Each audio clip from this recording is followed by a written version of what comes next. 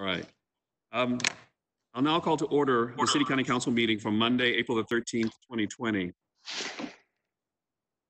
Before I start, um, before we move on to the rest of the business this evening, I ask that you join me in remembering IMPD Officer Breann Leath. I know that our entire city, including each of you, has keenly felt the loss of Officer Leath, a young mother who proudly served both her country and her hometown. She represented the best of what we as a community can be. And her death was a tragedy, but her life is an inspiration. We honor her by, by, by embracing her example of enthusiastic service, unflinching sacrifice, and unwavering courage. Let us pause for a moment of silence to remember Officer Leath and honor all our brave law enforcement and first responders tonight.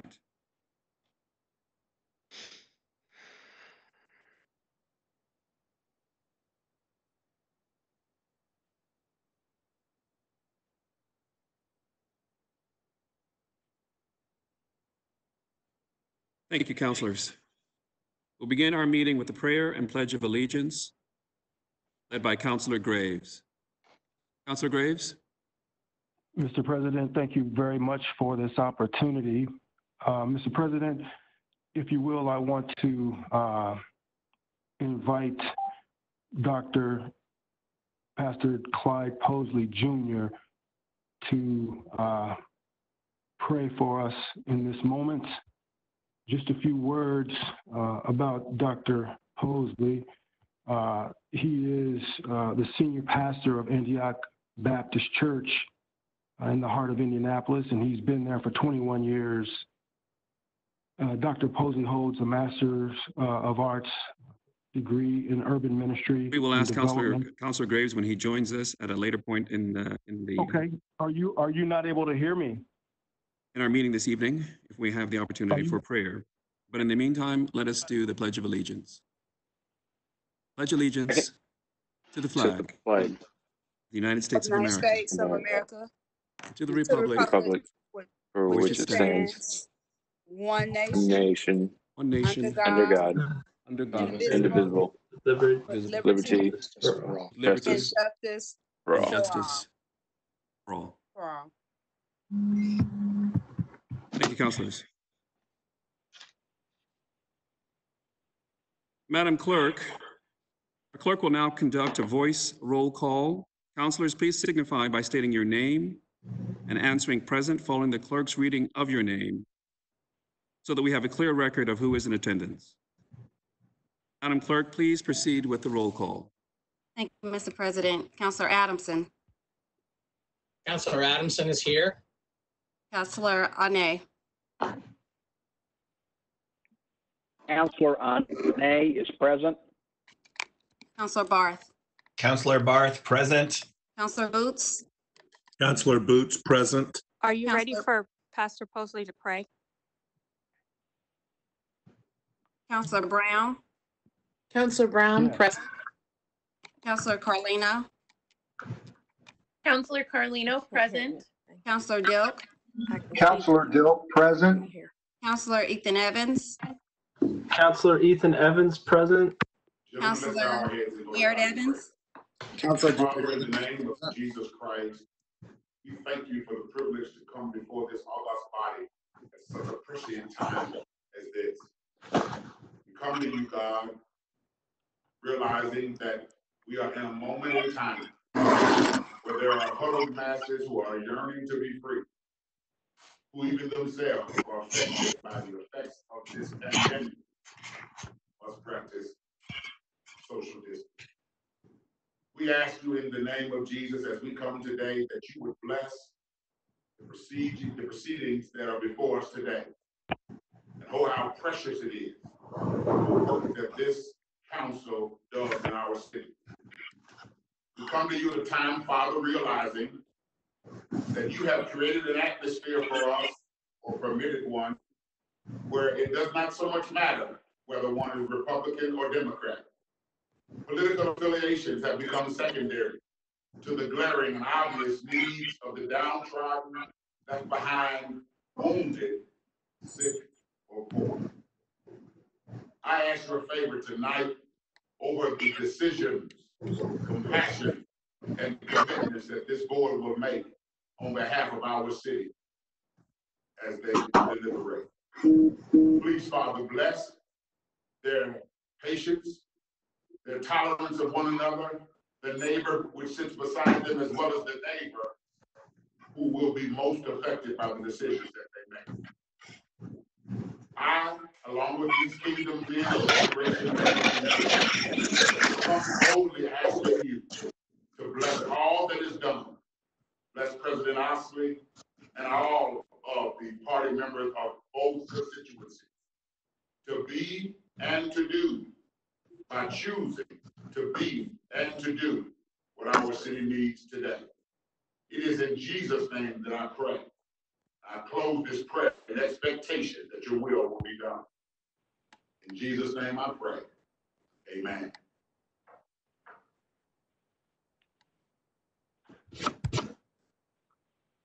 Madam Clerk, will you continue with the roll call? Thank you, Mr. President. Counselor Jared Evans, Counselor Jared Evans here. Counselor Graves, Counselor Graves here. Counselor Gray,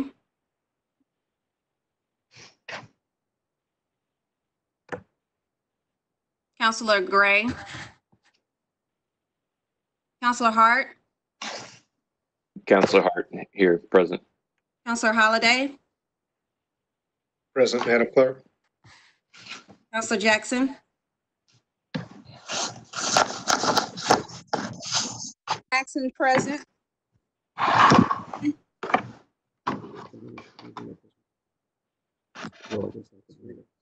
Counselor Johnson, Counselor Johnson present. Counselor Jones, Counselor Jones, present. Counselor Lewis, Counselor Lewis, present. Counselor Mascari, Counselor Mascari, present. Counselor McCormick, Jessica McCormick, present. Counselor Mowery, Counselor Mowery, present. Counselor Oliver. Counselor Oliver. Counselor Osili, Present. Counselor Potts, Counselor Keith Potts, present. Counselor Ray,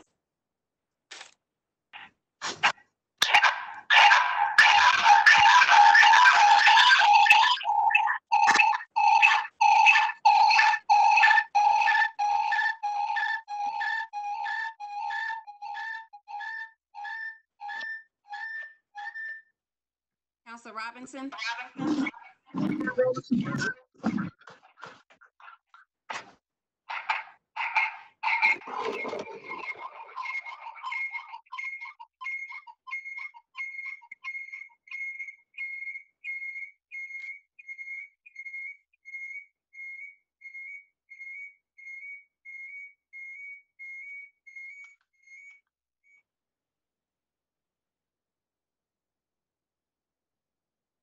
Madam Clerk, how many, how many councils are present this evening?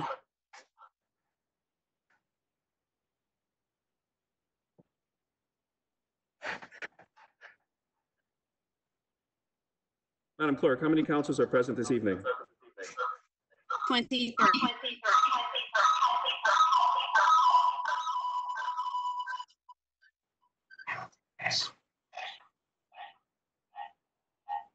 All right, seeing a quorum, we will proceed with official communications. Madam Clerk, will you begin with official, official communications?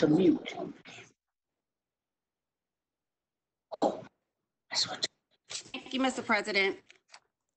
Ladies and gentlemen, you are hereby notified that regular meetings of the City County Council and Police, Fire, and Solid Waste Collection Special Service District Councils will be held in the City County Building in the council chambers on Monday, April thirteenth, 2020, at 7 o'clock PM.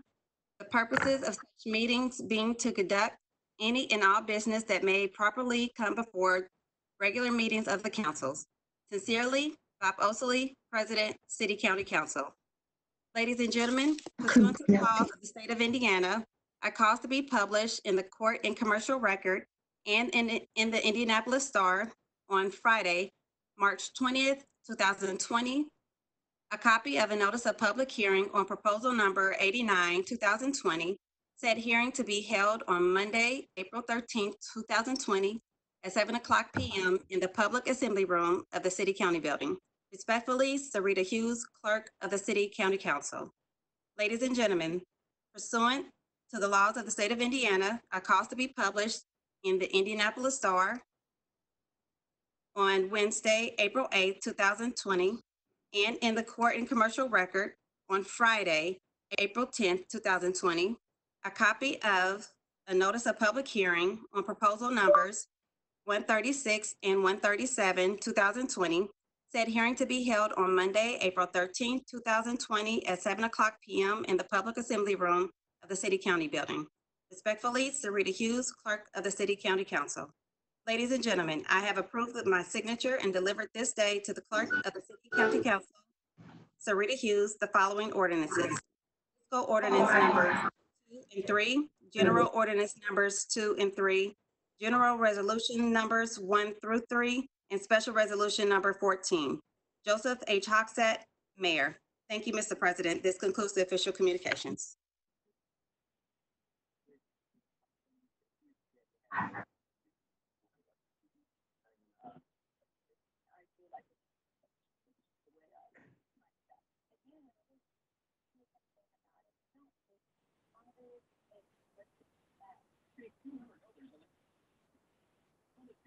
Point of order, Mr. President.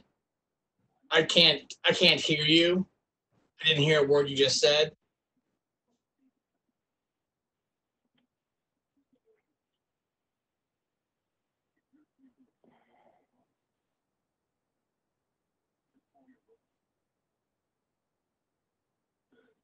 Mr. President, I'm here, cannot hear you.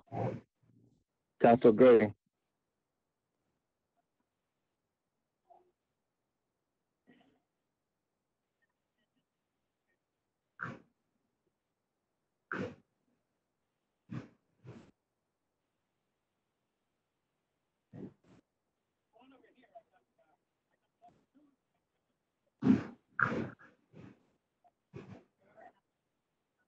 Can't hear you.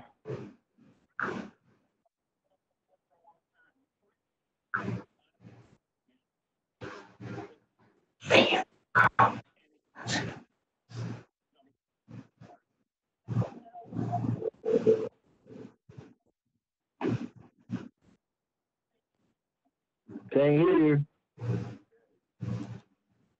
Counselor Gray, um, uh, President Osili is working on his sound. He's working on now. Thank you. Okay, thank you. Could you let me know when he's up and going? Will do. Madam Clerk, could you also maybe uh, get a message to Dr. Caine, let her know that her uh, computer is not muted?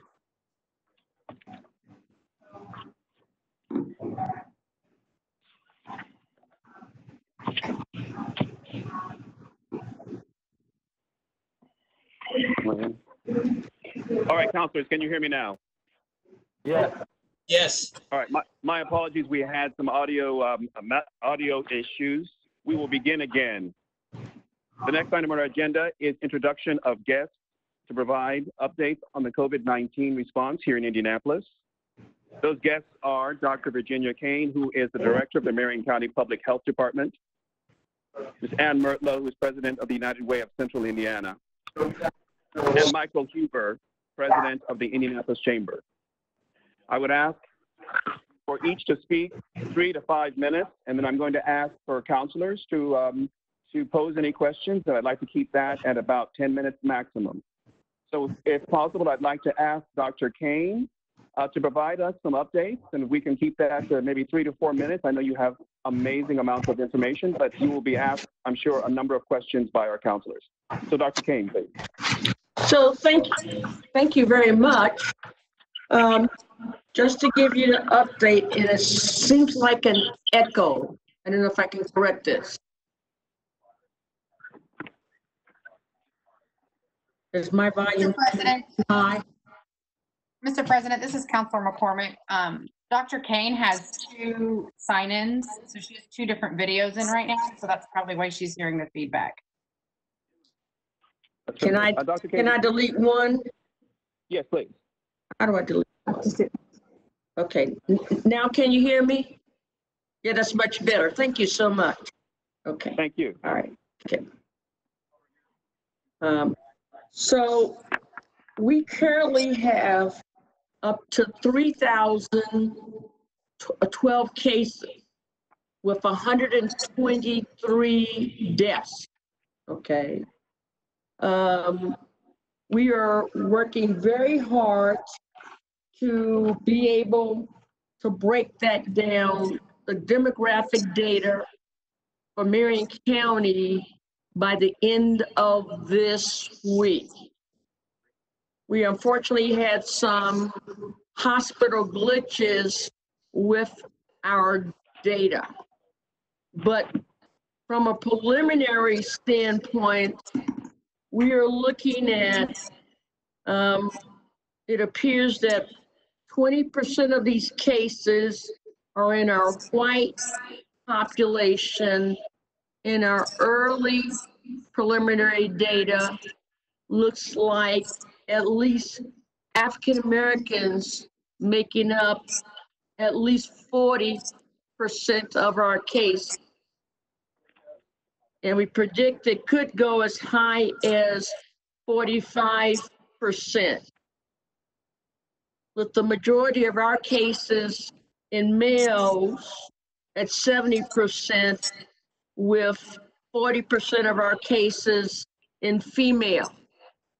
But unfortunately, we're missing um, a significant number of cases that we've been able to identify by their demographics. So by the end of the week, we should be able to have a good data and more up to date with our cases. Um, I do want to quickly tell you, we've had three major initiatives. Very concerned about our homeless population, where we are trying to make sure that we have set up multiple homeless shelters with no more than 100 in a shelter. Because if we get some positive homeless patients, they can infect all of the homeless in a particular community. And so that's been very critical for our operations. We've also provided what we call strike teams. These are teams that are able to go into our correctional facilities and do testing for anyone that may be positive uh, with our inmate system and do the necessary testing related to that. We've also provided guidance to the judicial system to recommend early release of nonviolent offenders for home detention and GPS monitoring in order to reduce the number of inmates in our jails. Because if confined, could lead to a major outbreak in our correctional uh, facility. As you know, we're working close in hand with our Long-Term Care Association, uh, providing guidance on nursing homes.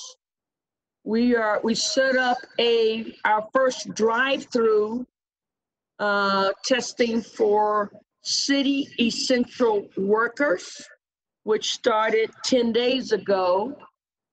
Um, and we continue to do contact investigations of coronavirus positive patients to determine exposure and who should go on a 14-day uh, quarantine. We're lastly setting up what's called a alternate point of care facility. This is like an overflow hospital type of setting where if our hospitals go overwhelmed, we have another location where we can have what we call uh, medical surge patients be able to be taken care of. And it will have a capacity up to about 200 patients uh, if any hospital setting needs more hospital beds. Based on our statistical modeling, we think that our peak of cases will occur the last week in April through the first two weeks of May, where we'll be at the height of our cases and hoping that we will not overwhelm our hospital care system. And I do, uh, um, um, President Vop would like to have some recommendations to the city council after, um, I answer questions related to the epidemic that I think is really critical to uh, this outbreak.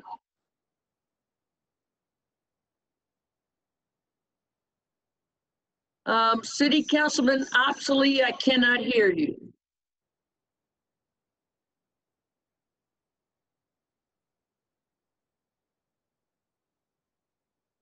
Do I need to, can everybody else hear, uh, Mr. Osili?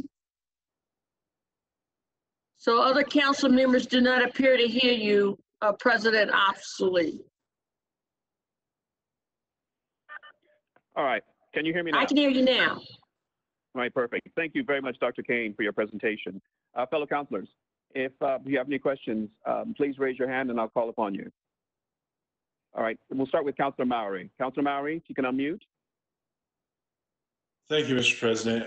Uh, Dr. Caine, I uh, Yes, sir. sent an email last week or the week before last asking about the golf course closure. Uh, to my understanding, the donut counties do not have a similar closure. Um, I can understand shutting down golf courses for riding and you know being in a golf cart, but when we are looking at uh, shutting down a golf course altogether, I think we're really hurting these folks that own these golf courses and uh, that maintenance of the golf course to make sure it's in pristine condition when they get back out there is still there for them. I mean, water costs alone to you know water a golf course, I can imagine, is astronomical. Uh, what is the reason for one? I guess I have not heard back from you. For two, And, why and, and let me just say, I apologize for not getting back to you. Uh, the city of Indianapolis, uh, kept receiving persistent calls related to people, um, abusing the shelter in place privilege with a number of the golf courses. So that, um, they would have and see gatherings of ten to twelve people, as many as that, at a golf hole, um, obviously not displaying any six feet difference. And uh, also having large gatherings inside the uh, facility where food was being served. And it was my understanding that uh, cautions were given to uh, uh, all of the golf courses uh, to please stay in compliance, but we pers- to have persistence, uh, I guess you want to say, folks who were non-compliant. Will I tell you that there were a significant number of golf courses who did an outstanding job following the rules, making sure that only one person was on a cart? Yes, that was the case, but they did have, uh, continue to have significant complaints with a small percentage of them. I have asked that we look and revisit that um, uh, at the end of the month to see whether we uh, should uh, relift that ban.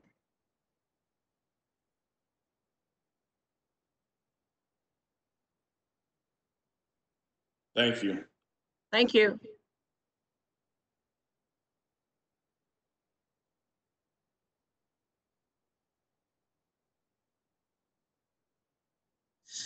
So, Mr. Osili, if you're speaking, I can't hear you again.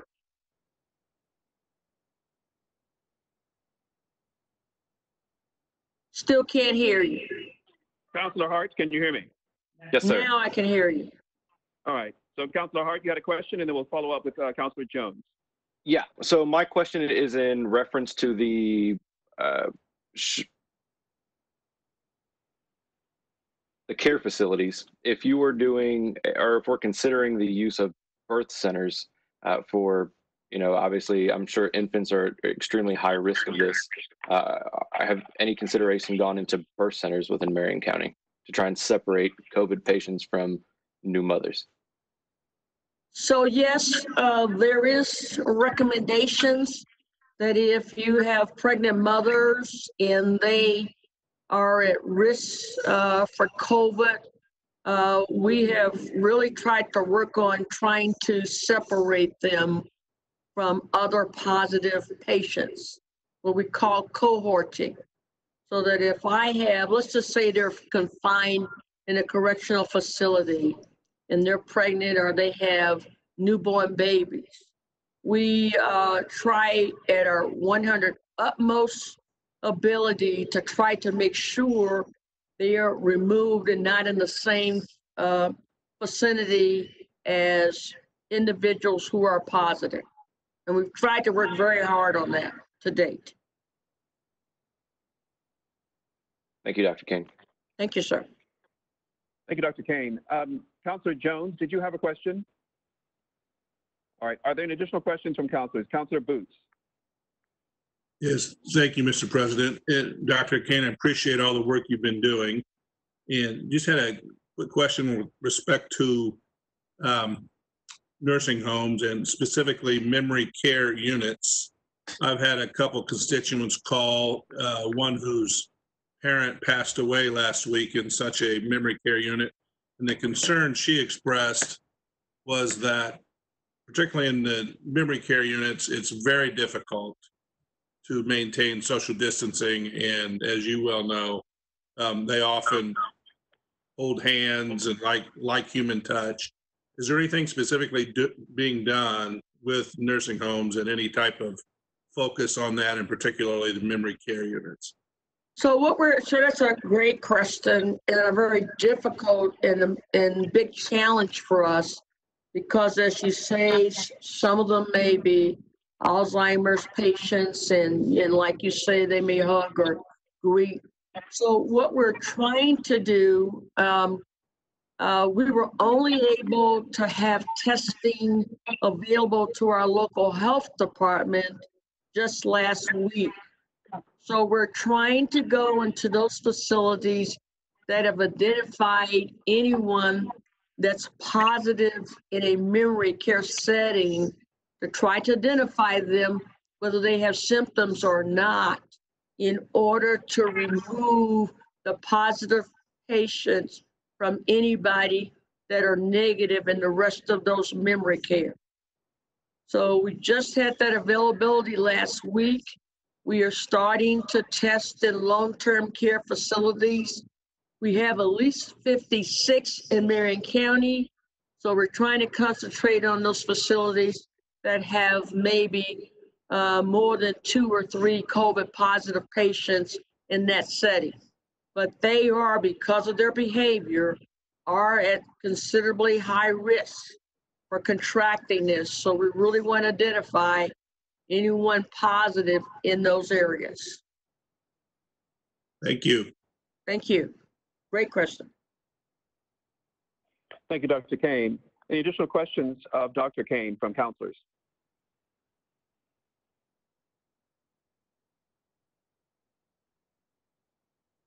Uh, Counselor Renee. Thank you, Mr. President. Dr. Caine, I just want to say, uh, before I, I ask my question, I just want to extend appreciation on behalf of District 23.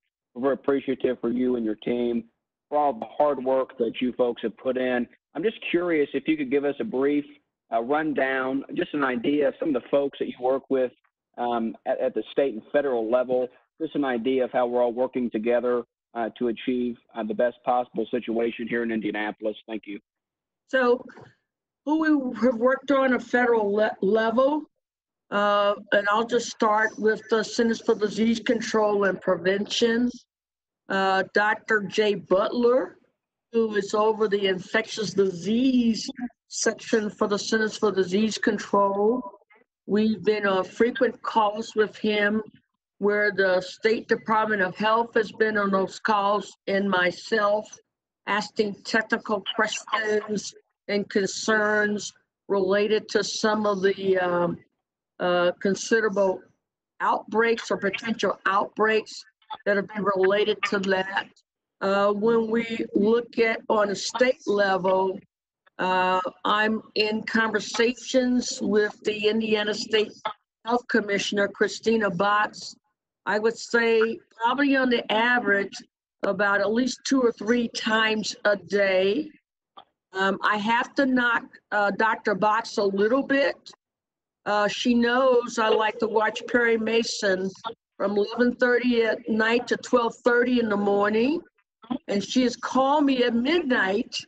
Uh, doing that's my only relaxation that I have, um, and uh, so I do knock her sometimes for calling me, and she's called me at 4:51 in the morning. So we're, we, we have constant communication with Dr. Box as well as her deputy health commissioner, Pam Pontones, on a frequent basis. I will probably say that with the Division of Family Social Services, Dr. Jen Sullivan, I probably talk to her probably on the average of at least about twice a week. So we really try to do our coordination um, well, trying to work out any bugs, is so that we're not duplicating and just uh, trying to coordinate our efforts on a, a national level. Thank you, thank you, Dr. Caine. Uh, when this is all said and done, uh, and we uh, we get to where we want to be back to normal, I wish you many uh, days off watching Perry Mason. You've earned it. Thank you very much. Thank you, sir. I appreciate that. Uh, Thank you very much, Dr. Caine. We have a question uh, from Counselor Oliver. Yes, Counselor Oliver.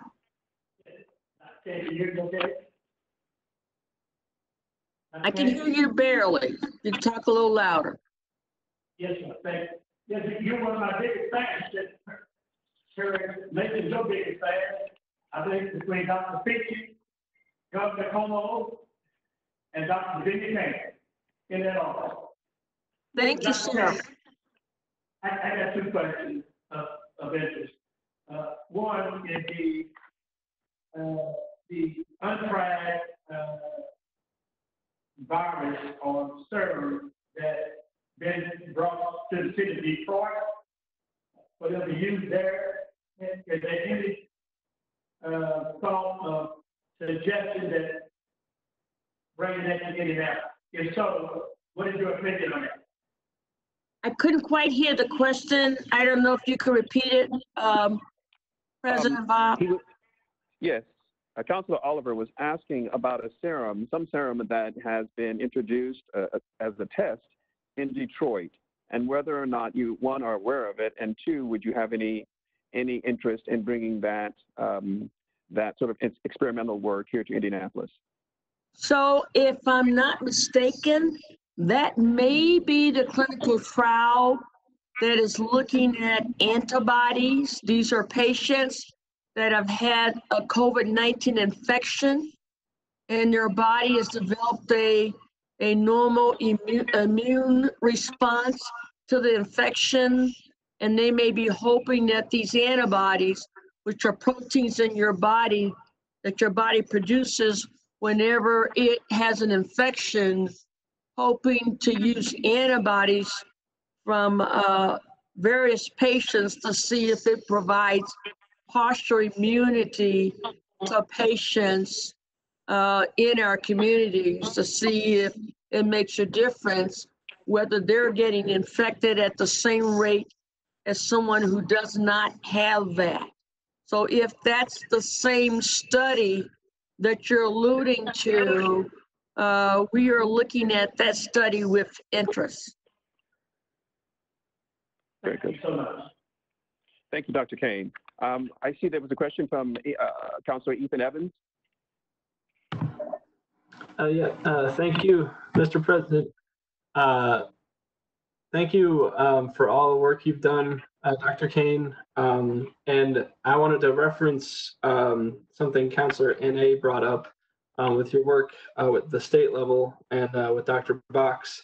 I've heard about um, the governor's uh, address earlier today, and he was asked a question about um, the prisoner release as well at the state level. And I just wanted to know if there had been any talks with Dr. Box and at the state level about expanding what we've been doing at the county level to the state level about low level, you know, prisoner release and, you know, expanding the strike teams into the state level, you know, penitentiaries and IDOC so that, you know, it can help stop the spread and, you know, flatten the curve at the state level so that it doesn't expand outside Marion County so that we don't have a repeat, you know, come, you know, in the next few months, you know, when people are trapped in, you know, small areas. So, so that's a huge concern for us. Um, that, uh, what we find sometimes is, is that as people who may be released, uh, from state prisons, but they may not necessarily be a, a resident of Marion County, but that our resources may be easier for someone to be released to a homeless shelter, that we may get a disproportionate share of those folks released from state correctional facilities. This is a discussion that we have had with the state, so we're trying to look at that very carefully um, to make sure that the resources are, are here. But more important, we'd like for those resources to be available in those counties where these prisoners reside from. So that's a major discussion we are having on a state and local level related to that, to that uh, key uh, uh, uh, issue that you are addressing. Thank you. Thank you. Thank you. And Dr. Caine, I want to say thank you so much for your presentation this evening. And I also want to say thank you for the data that you provided on the disparities by race of those who have fallen uh, victim to uh, the COVID-19. Obviously, this is of grave concern. Um, and I, I, I, look forward to, uh, to working alongside of you to seeing what we can do, um, one, to address it, and two, to mitigate this um, at its root. But thank you very much for your presentation this evening. So, uh, Council Osili, I have a major issue that I do want to bring before the council for your consideration. Please. You, you know that as our city confronts a, a public health crisis, I think it's vital that we continue to, together to save lives and slow the spread of this COVID-19. One important way that we can do that is by encouraging residents to vote by mail rather than try to vote in person on election day. So I want you to know I fully support providing every voter with an absentee ballot application as a public health strategy for a safer election. Because I think we will continue to have significant coronavirus in our communities June the 2nd. Secondly, I would also like to bring up that as we start to restart to integrate um, our cities back to um, their operations prior to this coronavirus, we may still need to make some recommendations such as we may not be able to hold large convention settings still in our community as other states and other cities may be having a later explosion of their cases. And so we'd like to talk with or work with some city council members about how we can in terms of our recovery, gradually put things in place and operation, but we may never be able to go back to where we were completely back to um, uh, prior to the coronavirus. So as we're gonna look real closely at the golf courses, whether we can reopen that, there may be some other things that we feel we may be able to reopen. And so what should those things be first? Uh, because you just can't open everything completely all at once. So like to work with some members of the city council to work on those strategies. Thank you. I'm, I'm sure that you will have a number of volunteers. Um, we'll get with uh, our council members um, and to see uh, who we could uh, move forward to work alongside of you. Thank you so much. And I just want to thank again uh, for the strong support we've had for our city council members. A lot of you have done a great job in doing uh, education to your uh, constituent members, and we appreciate that greatly. And we'll continue to provide you the information you need in order to address um, our epidemic in Marion County. So Dr. on Caine, behalf of our chairman of the board, uh, Joyce Rogers from Health and Hospital Corporation, uh, we extend you um, our um, support for any of your initiatives. Thank you. Thank you, Dr. Caine. Thank you for your work. Thank you so much. Thank you so much. All right. All right, counselors. Um, next, we would like to hear from Ann Murtlow, who is uh, president of the United Way of Central Indiana. Ms. Ms. Murtlow, Hi, can you hear me? yes. Wonderful. Good evening, President Osili and counselors. Thank you for having me back tonight to brief you on our activities since I was last here on March 16th. Just 10 days before I spoke to you last, on March 6th, Indiana recorded its first case of COVID-19. Just a week later, on March 13th, United Way, in conjunction with five other funders, Lilly Endowment, CICF, Eli Lilly and Company Foundation, Richard M. Fairbanks Foundation, and the Nina Mason Pulliam Charitable Trust announced the establishment of the Central Indiana COVID-19 Community Economic Recovery Fund, or CSURF. The fund was launched with $17 million in commitments from the founding funders and has since grown to over $22 million with the support from foundations, corporations, and individuals in our community. The purpose of the fund is to support human services organizations making up the human services safety net that provide individuals with basic needs and information and rever- referral services. Our goal is basically to meet the rapidly growing demand for services caused by the economic effects of the coronavirus crisis. This has been a particularly challenging time for these organizations um, during this crisis for several reasons. Revenue losses from canceled programs, lost donations, and postponed fundraising events has been severe. Sources of volunteers that those organizations count on to deliver services have all but dried up, in large part because corporations are no longer supporting volunteer programs that provide most of those volunteers.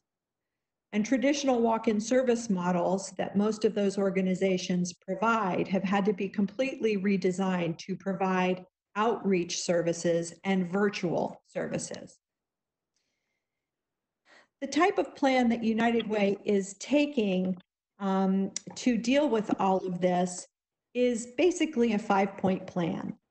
The first point is to work with stakeholders, and those would include the city, including Deputy Mayor Jeff Bennett and Dr. Virginia Caine, state officials, including um, Secretary uh, Dr. Jen Sullivan at, at FSSA and her counterpart at DCS, um, those on the front line at hundreds of human service agencies, and uh, all of the funders that we just mentioned.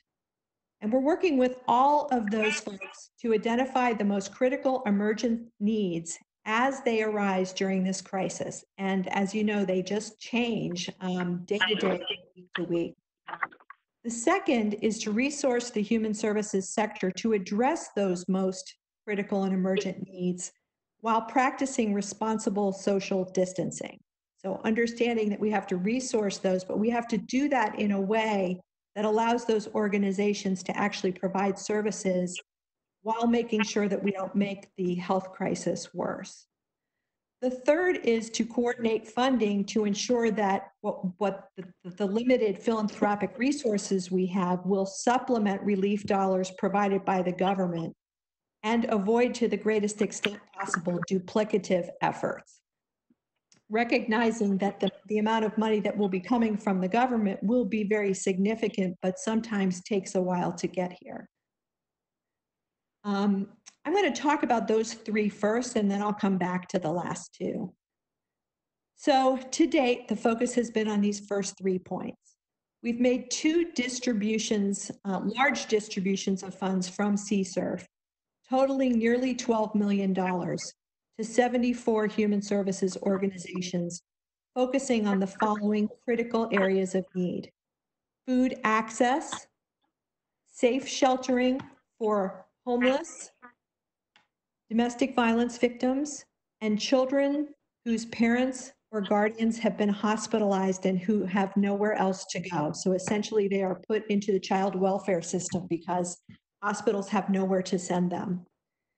Childcare for first responders and healthcare workers, disaster planning like blood collection and infrastructure support, so particularly 211 services that provide information and referral services that include not only um, connection with nonprofit, but also connection to government services like um, how to sign up for unemployment.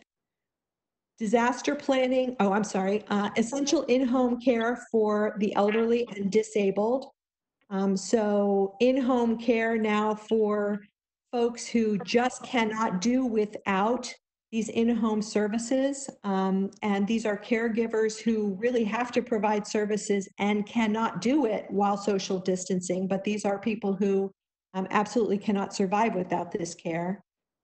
Mental health services, support for multi, multi-service neighborhood centers, so our community centers, um, and services for underserved or isolated communities, including LGBTQ, refugees, immigrants, and communities of color. In addition, United Way has focused on educating the human services sector on the significant benefits available to nonprofit organizations under the provisions of the CARES Act, such as the ability to um, access um, forgivable SBA loans. Um, and we've done that by providing webinars and resources immediately following the passage of the act so that our nonprofits in central Indiana would be prepared to act very quickly to take advantage of these critical supports. And then finally, um, as, as others such as the medical community and CICP, and this, this, goes, um, this goes to our fourth and fifth points, um, as others like the, the chambers and CICP are looking for ways to safely get us back to work, um, we are looking forward to the human services supports necessary to support getting people back to work.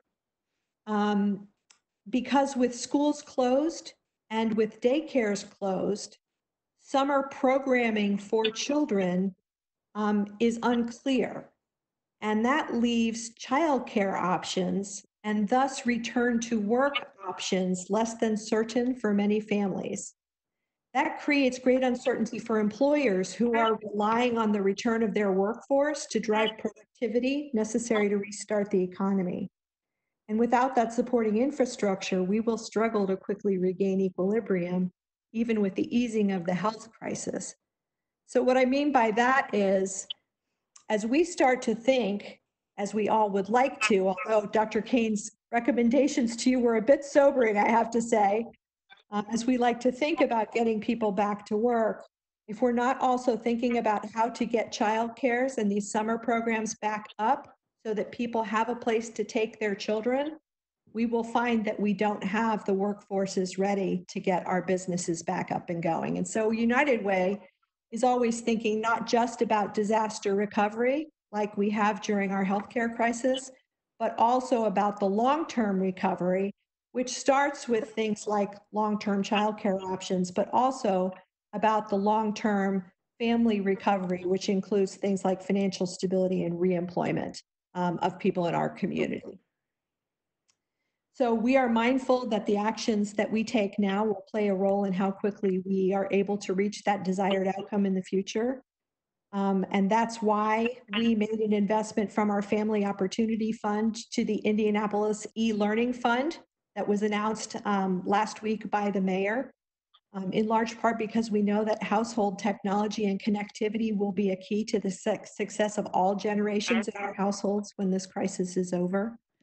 Um, we are here not just for the short term, but for the long term, and we'll continue to serve uh, with our focus on basic needs, family opportunity, and social innovation, both now and the, in the future. Um, we deeply appreciate our partnership with the fit, the city in all forms of its government um, as we collectively serve its citizenry um, in its time of need.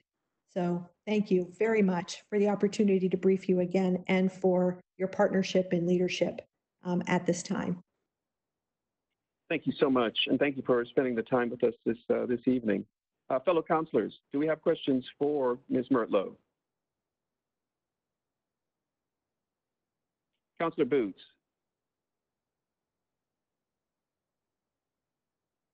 I believe you are, you are muted. There we go. Thank you, Mr. President. Um, and I really appreciate the U- United Way as well and, and what you're doing, particularly working with the, the other community partners on this fund. Is there a way, uh, Ms. Murtlow, that we can get a, uh, maybe a weekly status, uh, a single page infographic, whatever is convenient for your organization with these ongoing stats?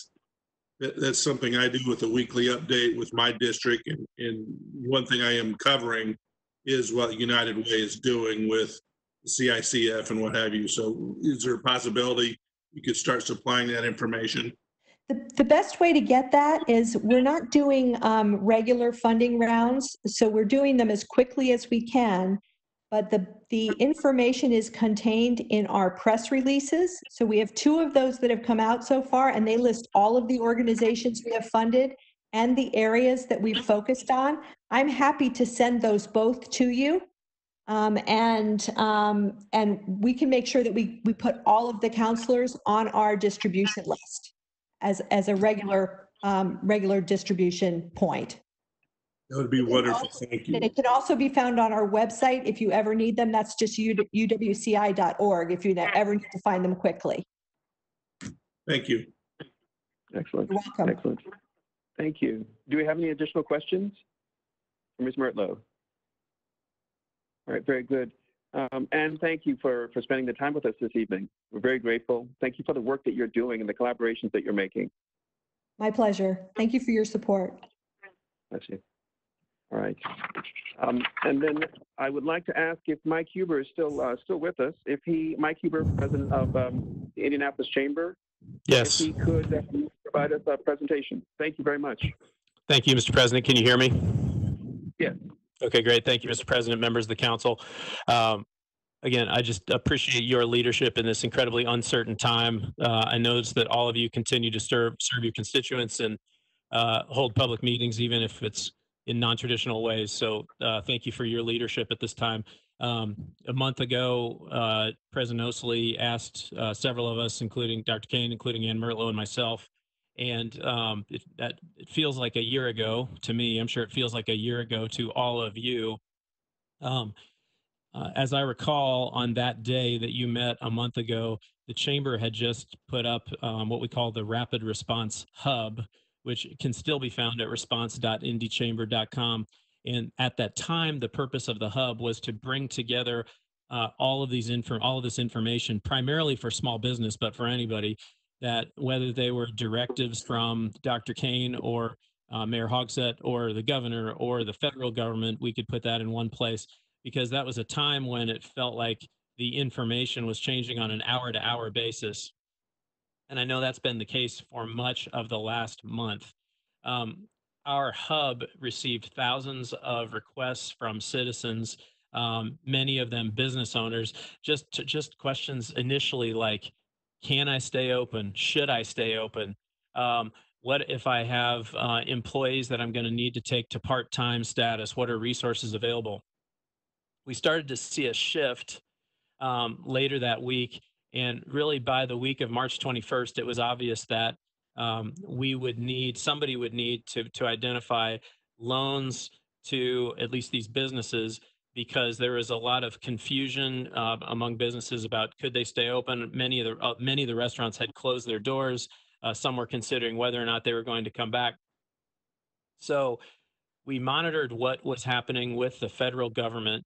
And on, if memory serves me, uh, March the 25th, the federal government passed the CARES Act, um, the largest uh, relief bill of its type, I think, in American history. And it included aid to small businesses, um, particularly via the federal SBA, Small Business Administration.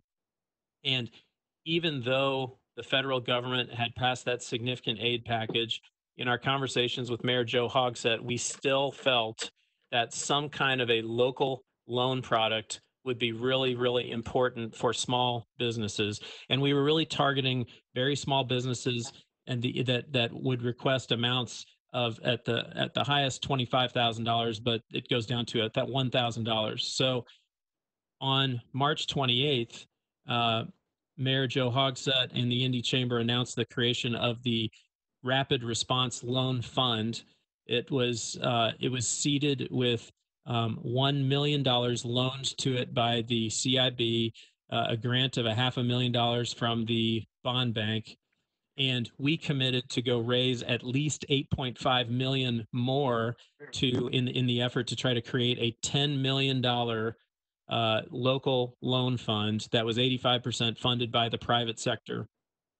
And this loan fund was in addition to significant federal money that is coming through um, the banks, in some cases, uh, tax credits. I'll, I'll say a little more about the loan fund and then just have uh, a couple more things, and then I'll, I'll take your questions or comments.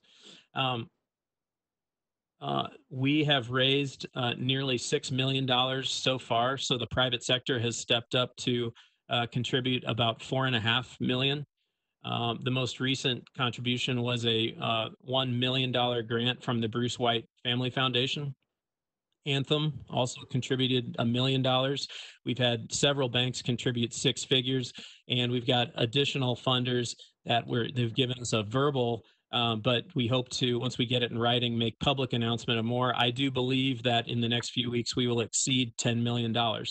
Um, uh, I'll, I'll, tell you the the requests that we have received as of um, this morning. So this is the loan program had been in existence for two weeks, and again, this is the Rapid Response Loan Program created by the Indy Chamber um, with a significant investment from the city of Indianapolis, and this is two weeks ago.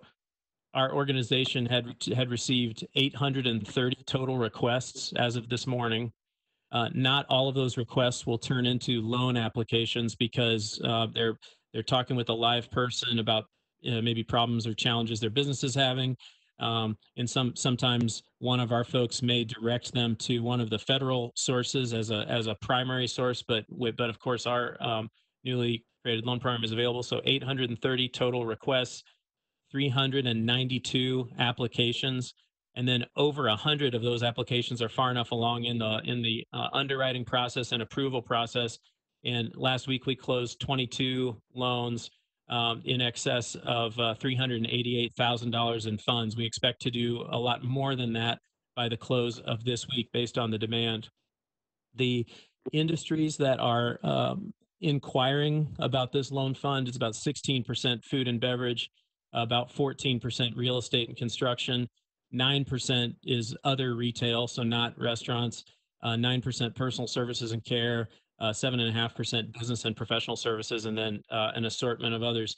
But it's no question that the restaurants have been hit very hard. Now, Um, I will say the federal aid that is coming is significant and it will make a difference. But, um, you know, anytime there's a new program, there's kind of a scramble because we're talking about small business owners. Uh, many of these are businesses that don't necessarily have, you know, an HR director or an accountant that's got the time to um, get to to research these new federal programs. But I do want to mention there's the Paycheck Protection Program that many of you are familiar with that Ann Murtlow mentioned, or the the PPP, um, which to which uh, businesses can apply directly through their banks.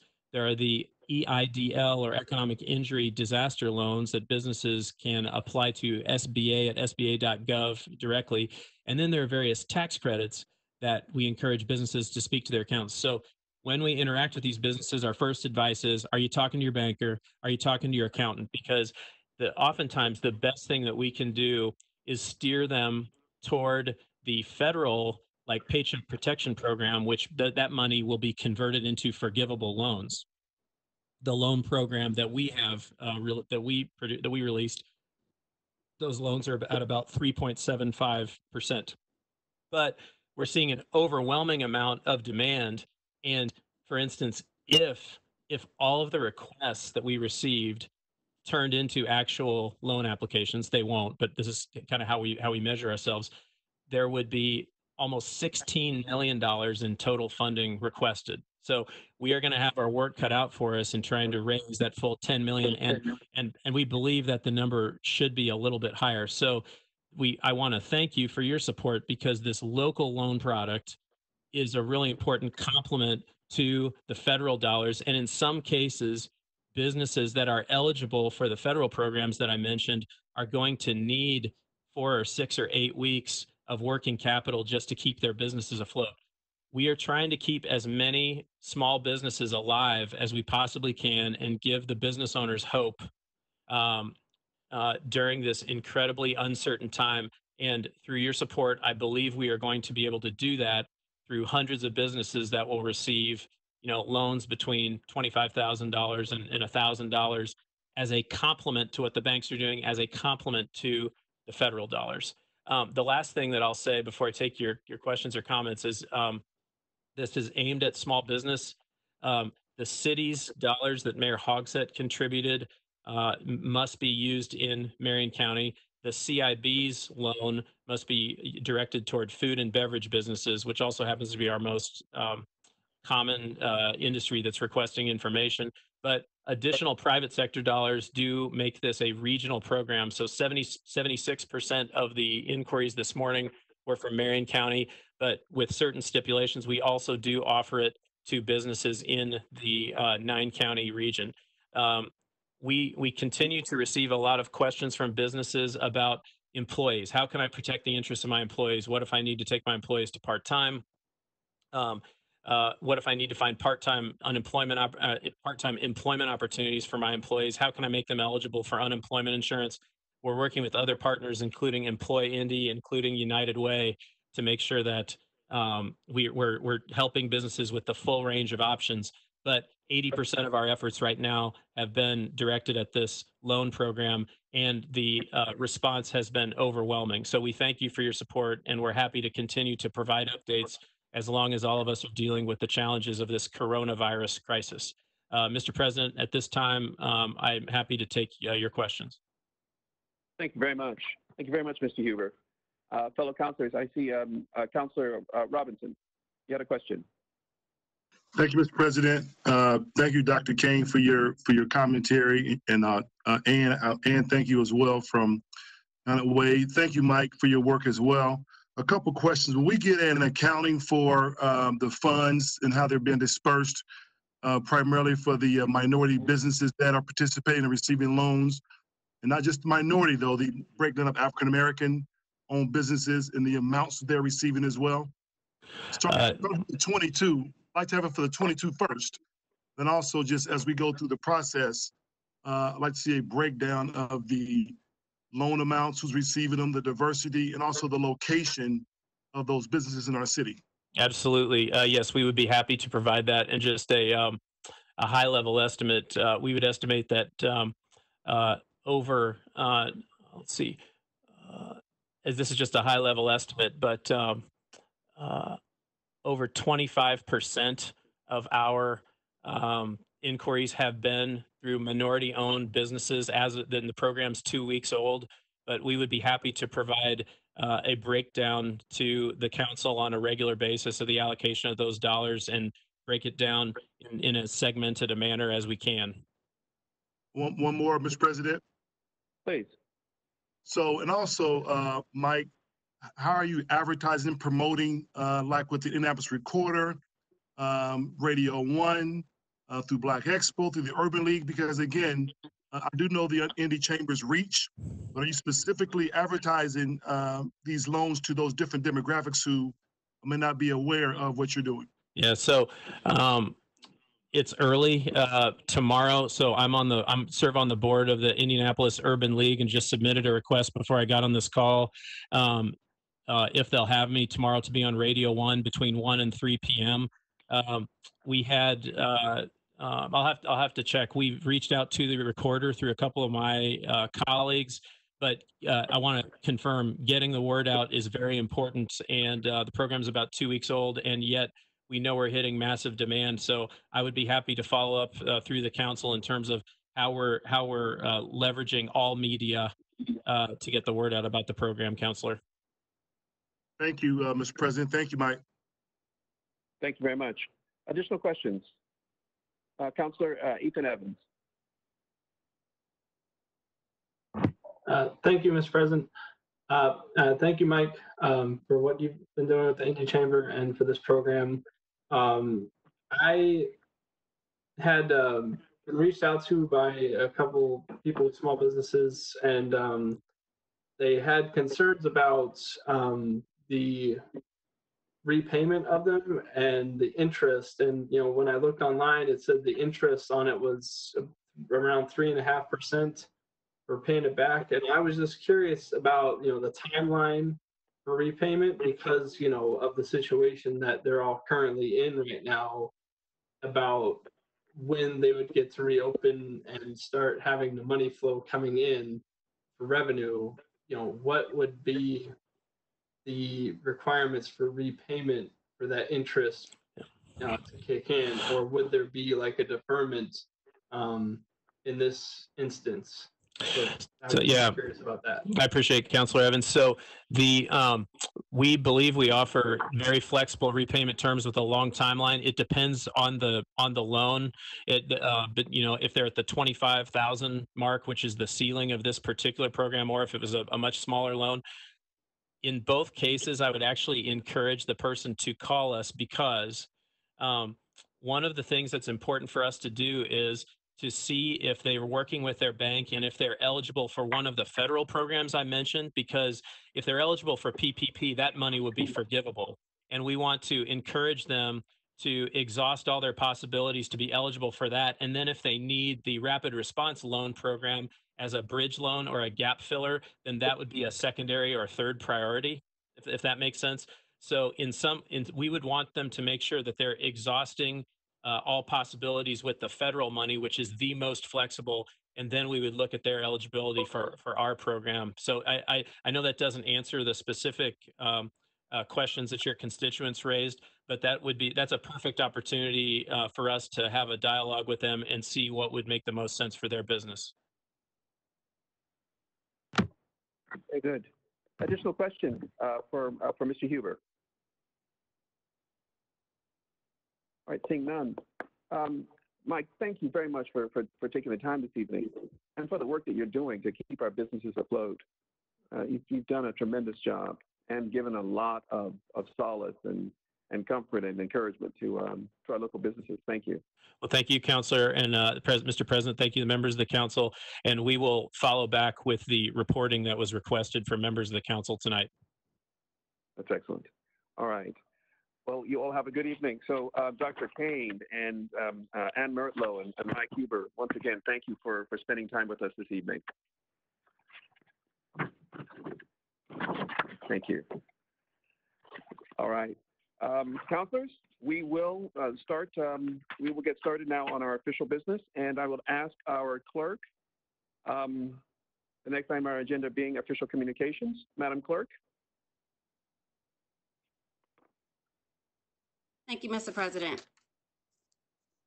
Proposal number 124, introduced by Counselor Osili, referred to the Metropolitan and Economic Development Committee, approves the statement of benefits of Union at 16th LP, the Annex Group, an applicant for tax abatement for property located in an economic revitalization area. Proposal number, Um, Just a second. Um, Madam Clerk, we may have jumped over a couple of things. If you okay, don't mind? okay. Let's, uh, let's go back to official communications. If, if you, uh, if you could, would you, um, would you go through that with me? Um, and then we also have to do some adoption of, uh, of our agenda for this evening. Okay, we did do the official communications, but I can read them again if you like. Well, no, actually, you're right. I- Adoption of the agenda. Um, counselors? Um, do I have consent? Consent. Consent. All right, very good. The next item on the agenda is, um, is approval of our journals for, for March the 16th, 2020 and April the 6th, 2020. Do I have consent? Consent. Consent. All right. Um, There is no business under um, special orders and presentation of petitions, memorials, special resolutions, and council re- resolutions. So, uh, Madam Clerk, um, please now begin. Thank you, Mr. President. Proposal number 124, introduced by Counselor Osili, referred to the Metropolitan and Economic Development Committee, approves the statement of benefits of Union at 16th LP, the Annex Group, an applicant for a tax abatement for property located in an economic revitalization area. Proposal numbers 125 through 129 and 131 through 135 refer to the Public Works Committee. Proposal number one twenty-five, introduced by Mr. Osili.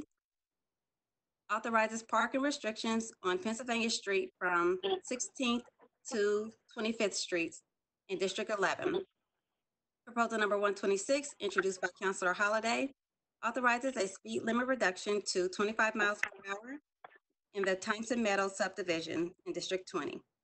Proposal number one twenty-seven, introduced by Councilor Jared Evans, authorizes a speed limit reduction to 25 miles per hour in the Spring Valley subdivision in District 22. Proposal number 128, introduced by Counselor Mowery, authorizes a speed limit reduction to 25 miles per hour in the Stonebriar subdivision in District 25. Proposal number 129, authorize, I mean, introduced by Counselor Adamson, authorizes a speed limit reduction to 25 miles per hour in the Brookwood subdivision in District 17. Proposal number 131, introduced by Counselor Jones, authorizes intersection controls at Kennington and Iowa Streets in District 16. Proposal number 132, introduced by Counselor Jackson, authorizes a speed limit reduction to 25 miles per hour in the Cherry Lake subdivision in District 14. Proposal number 133, introduced by Counselor Annee, authorizes a speed limit reduction to 25 miles per hour in the Orchard Valley and Rockwood subdivisions in District 23. Proposal number 134, 134, introduced by Counselor Annee, introduced, excuse me, authorizes intersection controls at Capitol Avenue and Midland Road in District 23. Proposal number 135, introduced by Councilor Gray, authorizes intersection controls at 52nd Street and Alameda Road in District 8. Proposals number 136 and 137 were are referred to the Committee of the Whole and were introduced by Councilor Osili. Proposal number 136 approves the, an additional appropriation in the 2020 budget of the Office of Public Health and Safety Consolidated County General Fund in characters two, three, and four to be used in response to the coronavirus. Proposal number 137 approves an addi- additional appropriation totaling $2,089,455 in the 2020 budget of the Marion County Election Board county general and cumulative cumulative capital funds for the mailing of absentee applications, rental of additional express vote machines, and for the necessary equipment to run the Marion County elections of 2020. Proposal number 142, introduced by Councilors Ethan Evans, Brown, Barth, Graves, and Osili, referred to the Public Works Committee, authorizes the bus-only and bus and turn lanes for the Purple Line and amends the code to make various changes to chapters 441 and 621 regarding traffic and parking as part of the Purple Line Rapid Transit Project, one key component of the Marion County Transit Plan. Mr. President, this concludes the introductions. Thank you, Madam Clerk. The next item on our agenda is special orders priority business. Proposal number 138 is a rezoning ordinance certified for approval by the Metropolitan Development Commission on April the 2nd.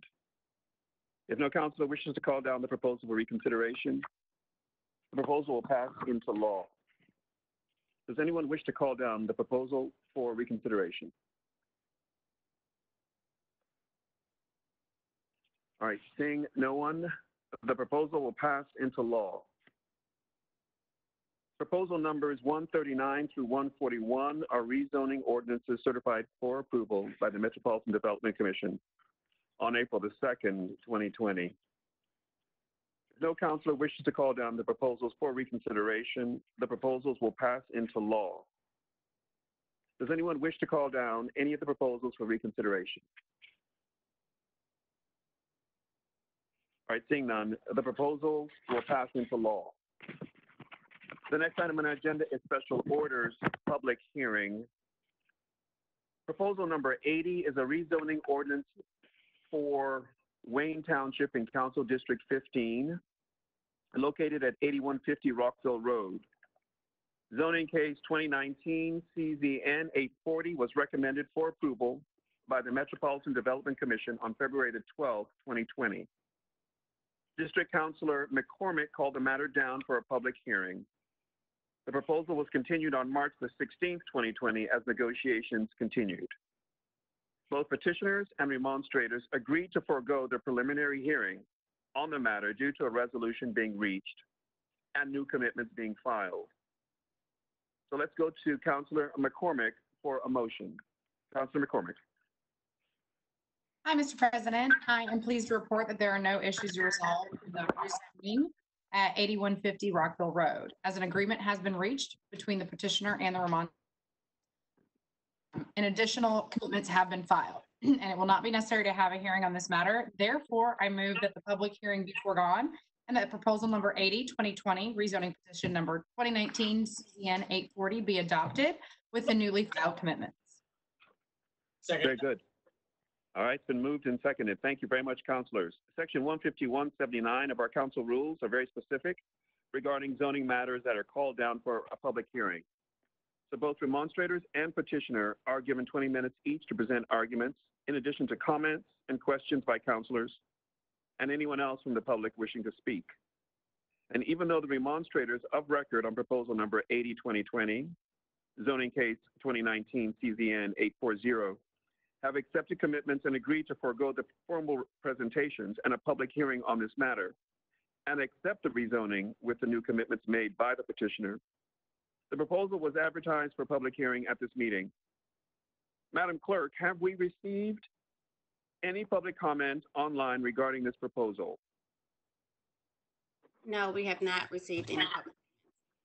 All right, thank you.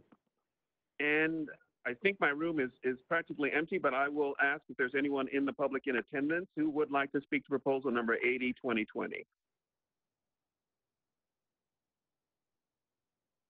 All right. I see no one. Um, are there any additional comments from councilors? All right, seeing none.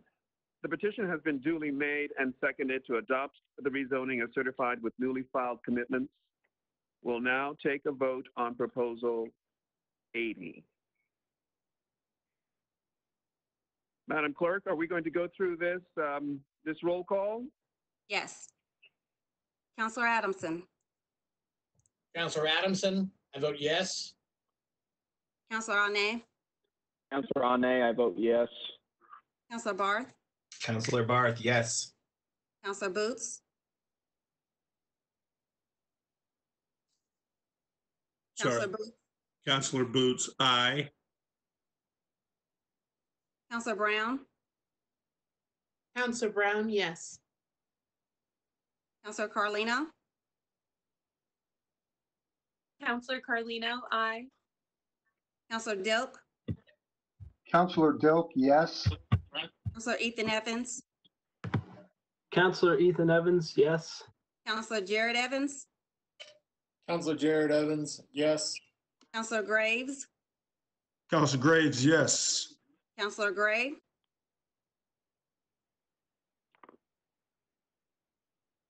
Counselor Gray, Counselor Hart, Counselor Hart, yes. Counselor Holliday, Holliday, yes. Counselor Jackson, Counselor Jackson, aye. Counselor Johnson, Counselor Johnson, aye. Counselor Jones, Counselor Jones, aye. Counselor Lewis, Counselor Lewis, aye. Counselor Mascari, Counselor Mascari, aye. Counselor McCormick, Aye. Counselor McCormick, aye. Counselor Mowery, Counselor Mowery, aye. Counselor Oliver, Counselor Oliver, aye. Counselor Osili, Counselor Osili, aye. Counselor Potts, Councilor Potts, aye. Counselor Ray,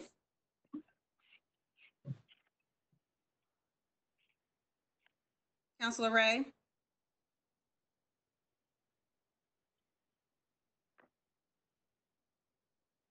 Counselor Robinson, Councilor Robinson, aye. Thank you, Mr. President. We have 24 yay and one not voting. All right, the motion carries. Thank you very much. Um, Madam Clerk, the next item is proposal 89, referred to Public Works Committee. Chairman Adamson.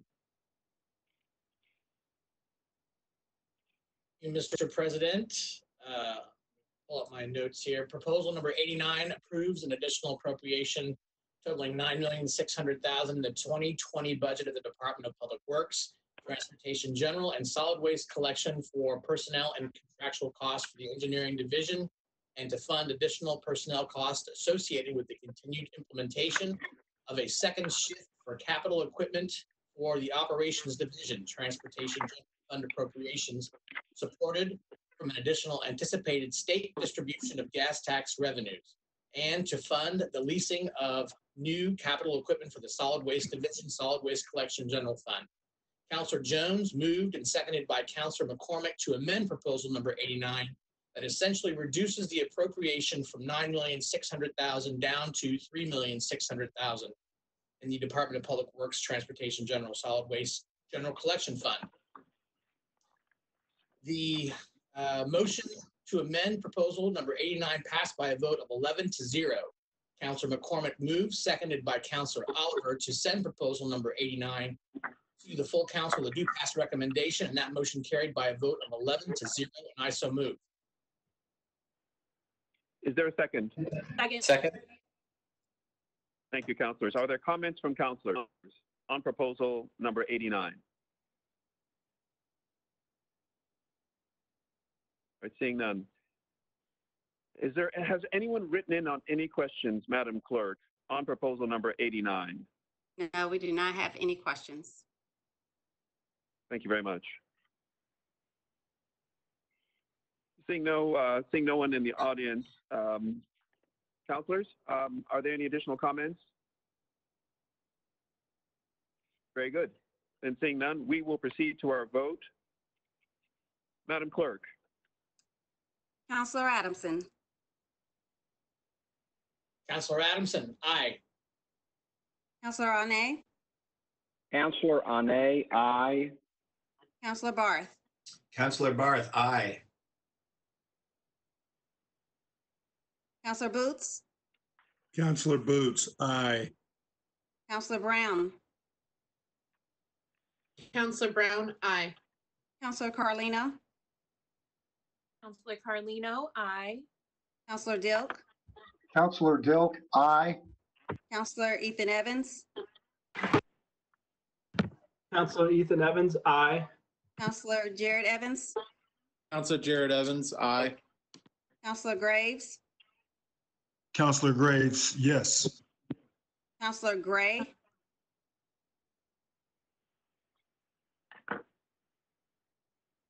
Counselor Gray, Counselor Hart, Michael Hart, aye. Counselor Holliday, Counselor Holliday, aye. Counselor Jackson, Counselor Jackson, aye. Counselor Johnson, Counselor Johnson, aye. Counselor Jones, Counselor Jones, aye. Counselor Lewis, Counselor Lewis, aye.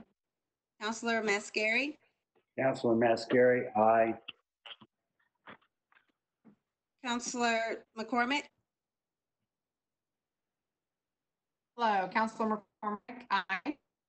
Counselor Mowery, Counselor Mowery, aye.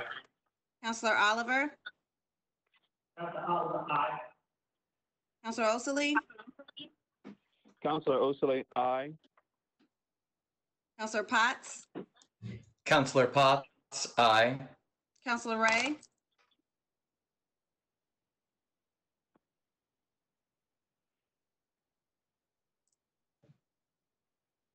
Counselor Robinson, Counselor Robinson, aye. Mr. President, there are 24 yays and zero and one non- non-voting. Thank you very much, Madam Clerk. That motion carries.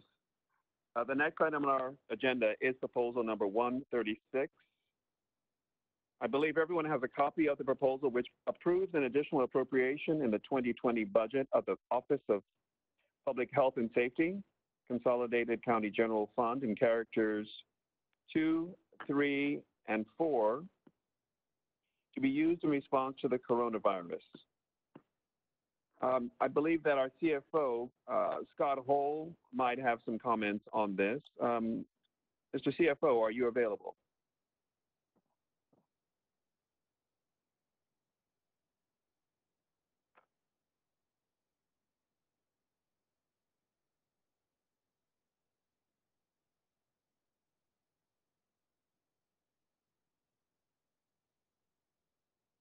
All right, then we will, we will proceed.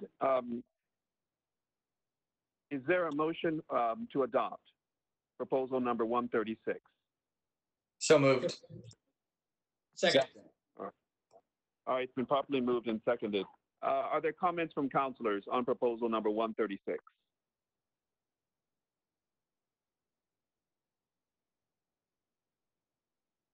All right, seeing none. Um, Madam Clerk, has there been uh, anyone with written-in questions on proposal number 136? No, no questions or comments. All right, very good. Additional comments from counselors? Um, Counselor Ethan Evans. Uh, Thank you, Mr. President. So I just had a clarifying question. So this proposal is written in a way that it is limited in scope to just this particular event um, and situation, uh, if I'm correct. Um, So it said to be used in response to the coronavirus. Um, So meaning that after a period of time, it will expire in and of itself? Or will we have to come back and write a proposal to uh, cancel it out?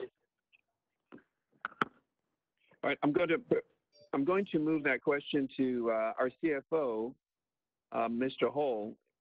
Mr. Hall, are you available now? Yes, I am. I'm actually replying under TK's. For some reason, my audio isn't working. Um, But the, the short answer is that yes, these funds are dedicated to uh, just the response to the current coronavirus out- uh, epidemic. And unspent funds would return to fund balance uh, at the end of this event.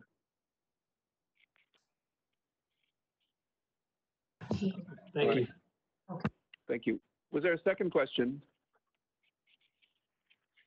Counselor Boots? Yes, thank you, Mr. President. Um, Just for purposes of educating the council, myself included, as well as those uh, members of the public, uh, could our CFO please go through and just uh, describe generally the, the different buckets of the characterization of these fees and expenses and what that means from practical terms? Correct. Yes, so um, fifty thousand dollars are be put into character two. Character two would be um, basically supplies. Specifically, they're going to be look um, purchasing personal protection equipment such as masks, gloves, gowns, um, hand sanitizer, items such as that. There's four hundred thousand dollars being uh, appropriated to character three. That would be um, contracts and services. Specifically, what we're looking at here is the lease of a, a chilled warehouse um, in addition to um, uh, refrigerated trailer units. They're being utilized by the Marion County Coroner at this time to handle overflow of deceased um, deceased individuals. And then three hundred thousand dollars in character four, which is for uh, UV sanitation devices that have presently been requested by the Marion County Sheriff for use in the jail uh, and their facilities. But it's, um, it's believed that additional agencies, departments will be requesting those devices as well. We would hope. Thank you. All right. Additional questions from counselors?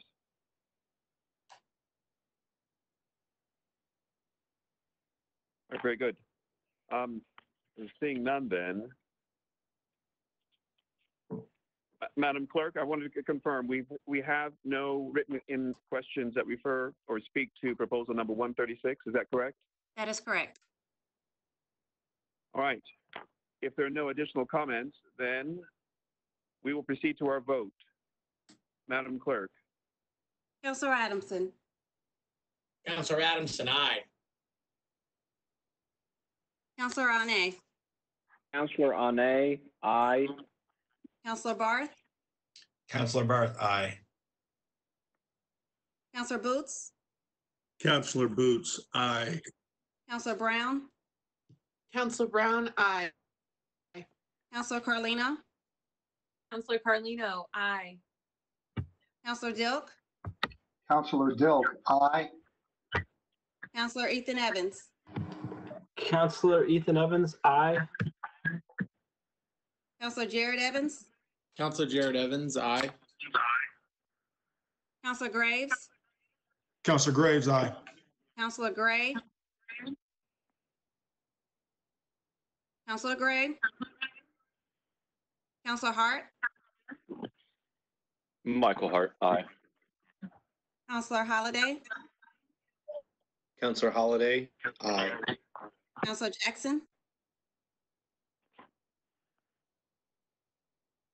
Counselor Jackson, aye. Counselor Johnson. Counselor Johnson, aye. Counselor Jones. Counselor Jones. Aye. Counselor Lewis. Counselor Lewis, aye. Counselor Mascari. Counselor Mascari, aye. Counselor McCormick. Counselor McCormick, aye. Counselor, Counselor Mowery. Counselor Mowery, aye. Counselor Oliver. Councilor Oliver, aye. Counselor Osili. Counselor Osili, aye.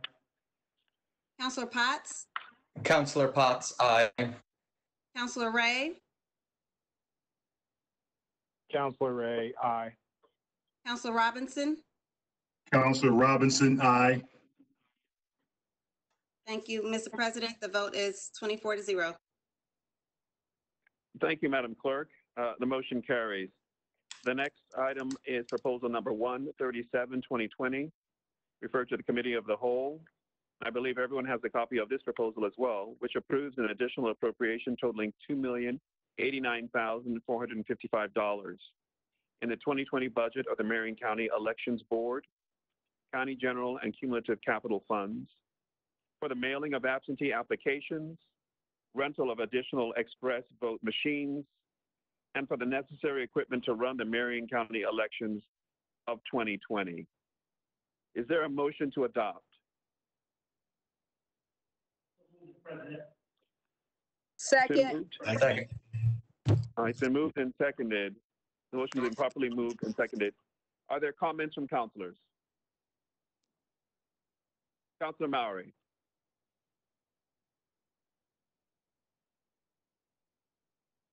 Thank you, Mr. President. Um, my question for this is, I get the need for more polling equipment, but I question whether we need to be sending out a $1.4 million mailer to absentee voters.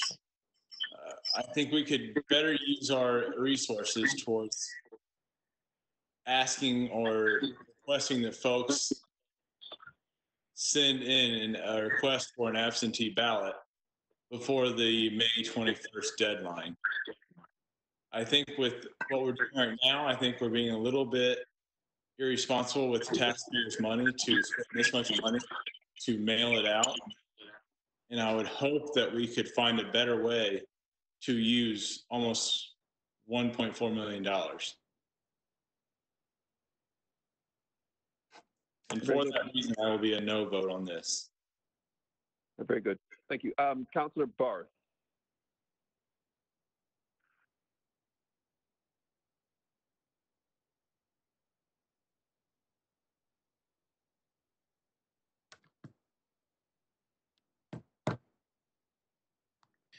And number two, we need to make sure we're making uh, the voting process as safe as possible. And I think our representative from the health department made that clear. So I appreciate this proposal and I am very much uh, in support. We'll be voting yes.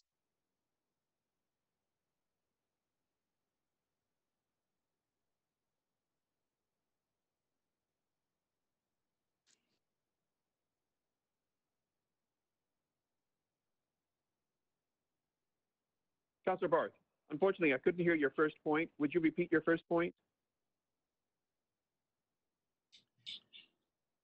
I think um, my overall point was number one, that during this time, we need to do everything we can to support our citizens to exercise their right to vote. And I think this proposal does that. And number two, my broader point was that we need to make sure they do it in a way that's as safe as possible. All right, very good. Thank you. Thank you, Councilor. Additional comments from councilors?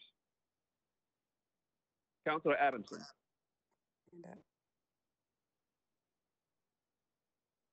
Councilor Adamson. You're on mute.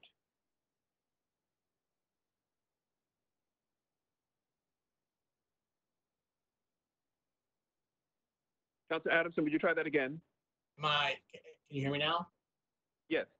Uh, I just wanted to ask to, to be uh, added on as a co-sponsor for this proposal. I think, uh, as Councilor Barth had mentioned, uh, anything that we can do to encourage uh, uh, voting by our population, we ought to be doing, uh, especially in these uncertain times when people may have concerns about going out in public. Thank you. Thank you very much. Um, Councilor Mascari.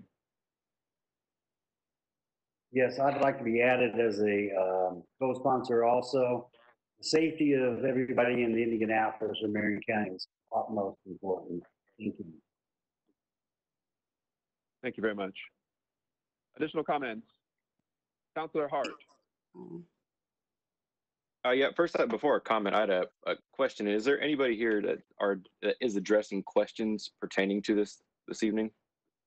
Yes, um, uh, we have um, from the elections uh, elections office, um, Brienne uh, Delaney. All right, thank you, Brian. Uh, so my first question is, do we have enough storage space to accommodate all of these absentee ballots? Uh, President Osili, may I respond? Yes, please. Um, yes, we do. We have a large warehouse, um, located at thirty-seven thirty-seven East Washington Street, um, where we've accommodated up to close to a hundred thousand, um, absentee ballots in the past. So I believe that we can, um, hold at least that many. And when counting those ballots, will we have enough room to maintain social distancing practices for those individuals to keep them safe when counting? Um, the Indiana, yes, to answer your question, um, in short, and also the Indiana Election Commission, um, has, for this election, allowed us to move our counting operation to more than one location if we, that's necessary. Um, so I think we're still working on that possibility, but I believe that we will have enough room. And are we getting any special posted rates for this, for being such a bulk program? Yes, we are. We are working with Ricoh, um, who has the city's contract for printing. Um, and they are using their corporate discount, um, or I guess a corporate rate somehow, um, for the postage.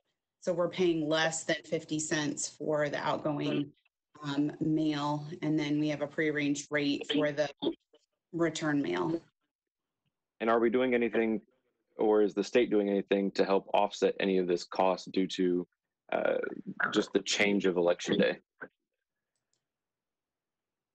As far, um, nothing is set in stone that I know of right now. I, I know that there's a lot of talk of them possibly providing, um, PPE and hand sanitizer, things like that. There's also the federal CARES Act, supposedly some of that is supposed to come through to elections, but I have no, um, direct knowledge of what will be coming uh, from the state or federal government at this time. Okay, and then did the election board have an opportunity to vote on sections two and three of this proposal? And if- they did, what day did they do that? Um, the election board, uh, did portions of the proposal that, um, came under contract, uh, for the new equipment, um, that we purchased, they did vote on. Uh, as far as it, um, goes towards, um, absentee ballot application, um, those funds, those were not voted on by the election board. Okay, so the, the funds weren't voted on, and then my final question before I have a comment is that I- I was told the mayor is addressing a letter and signing a letter inside of this uh, when the application goes out. Is that true? Um, the letter actually now is going to be coming from Marion County Clerk, um, Myla Eldridge on Marion County Election Board letterhead. Um, so at this point, that's the letter that's been sent to the printer. And I, um, do want to let everyone in the room know that we're finalizing the last details for the letter that will be the application. And it's my plan to send that to both the Marion County Republican Party and the Marion County Democratic Party with the contents of the letter, the application, um, the date that we expect it to start hitting mailboxes so that both parties um, can follow up with any chaser mail or anything that they want to do.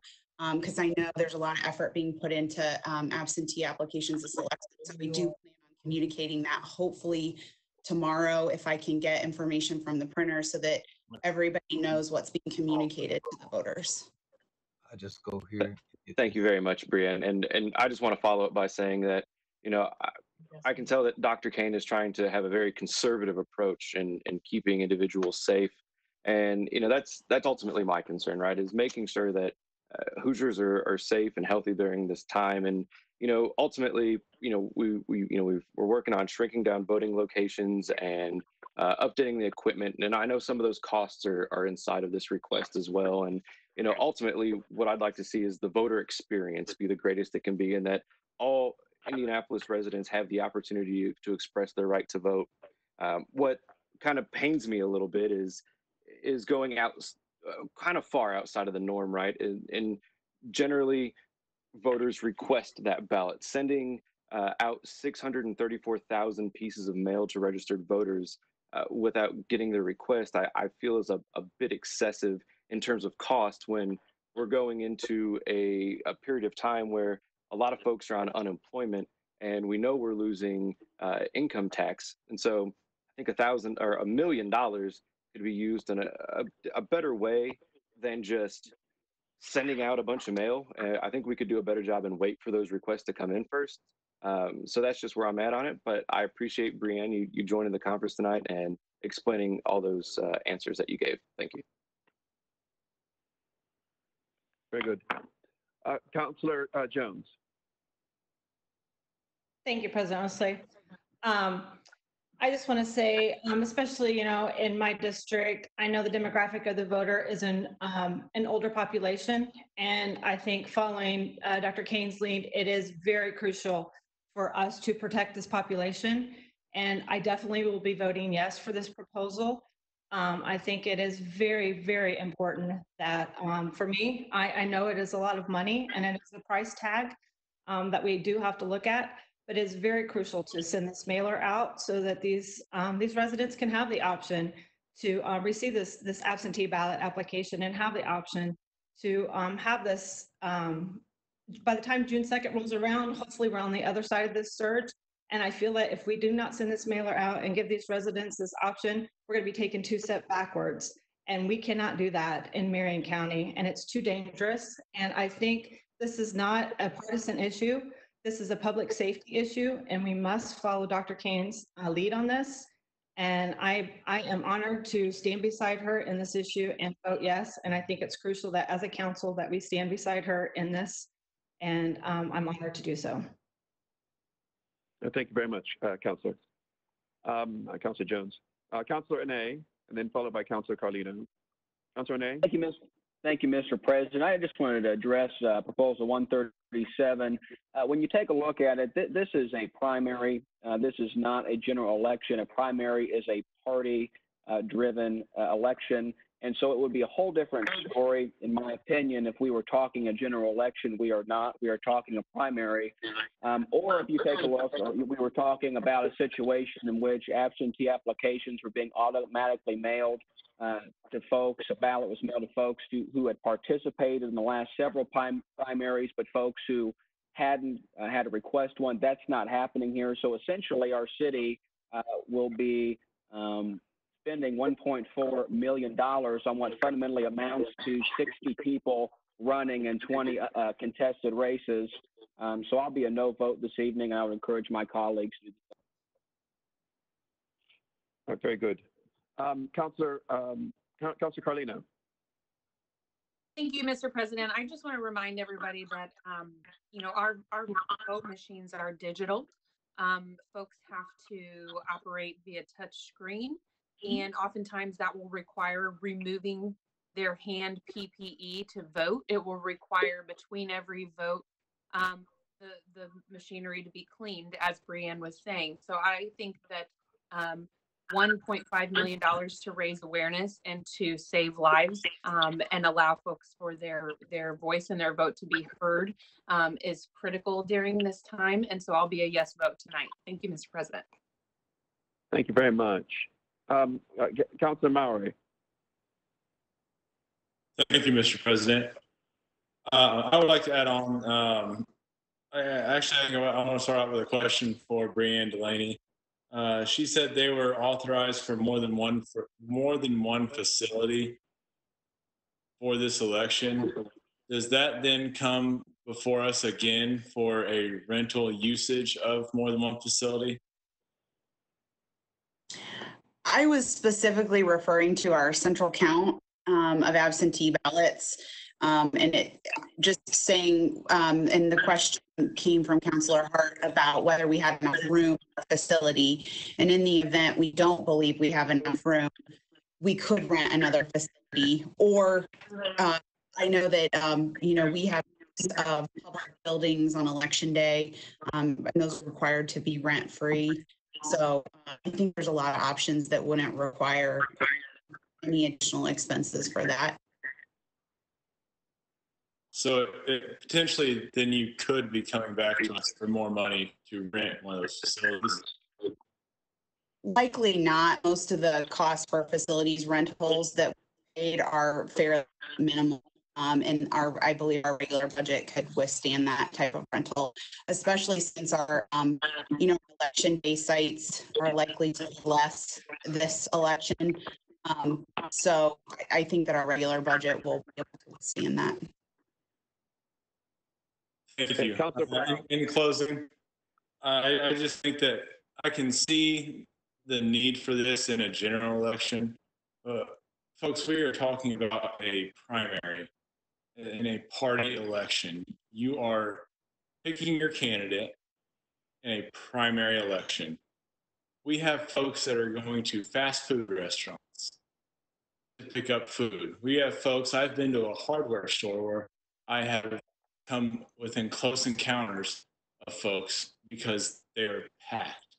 I've been to city parks and they are packed.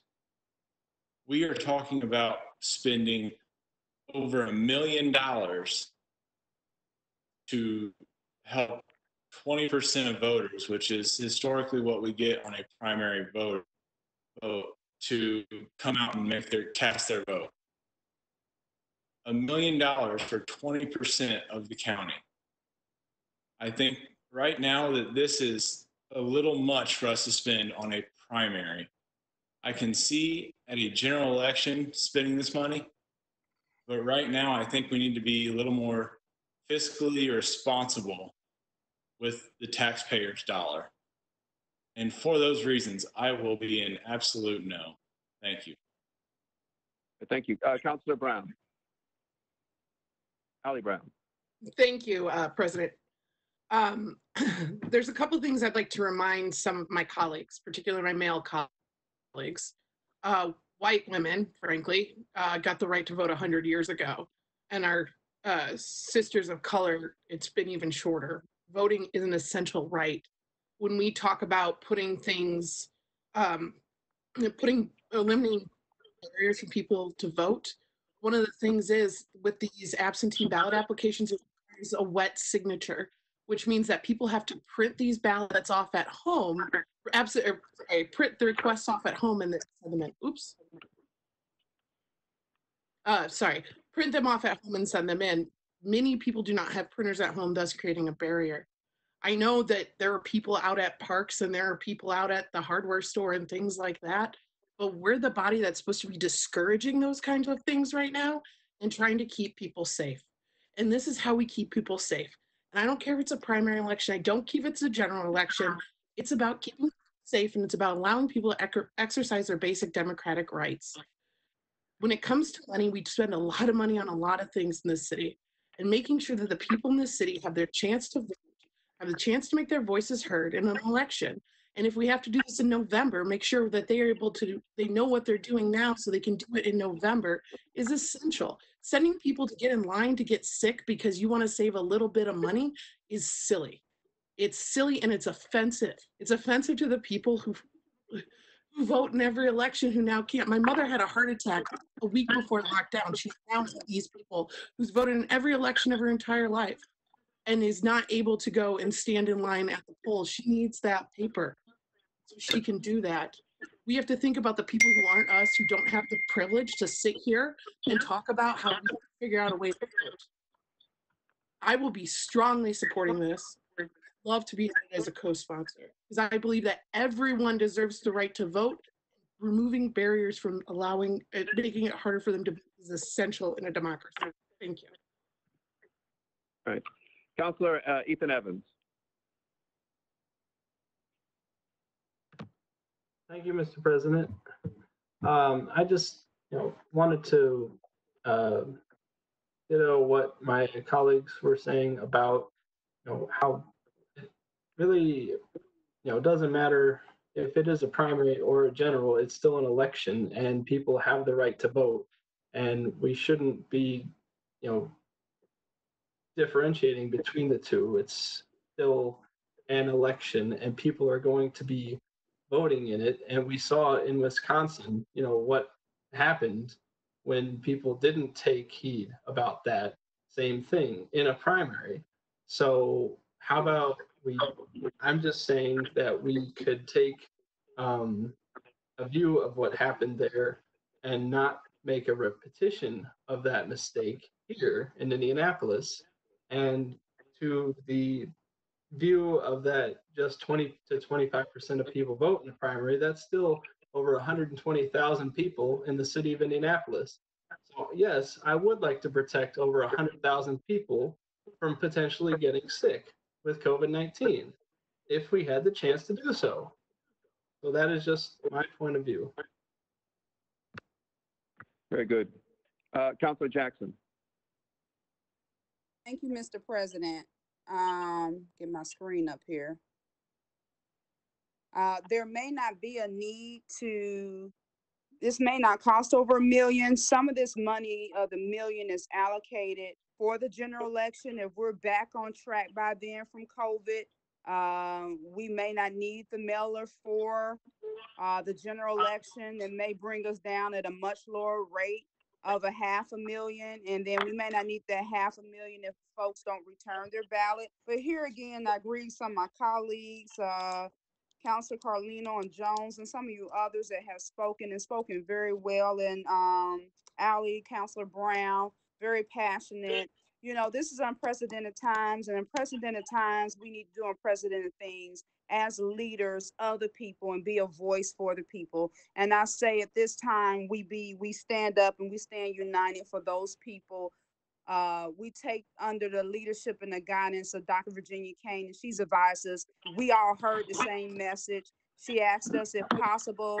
She had what I heard from hers, what she said most foremost is to keep her her concern is the June second election. That's the first thing I heard her say is her election is her concern is that election and keeping people away from those polls. So if she is the head of our health department and as her expertise, I take that very seriously as what she's done and her leadership under many years here in Marion County. If this is one of her major concerns, if we as the 25 bodies of this counselor under our leadership and our professionalism can help her do one thing with a half a million dollars or less, is to help keep people safe and, and, and provide them to democracy and something that they are due owed. I think we as leaders of this city should do it. I think we should stand up and do it well and do it as a united front. I urge my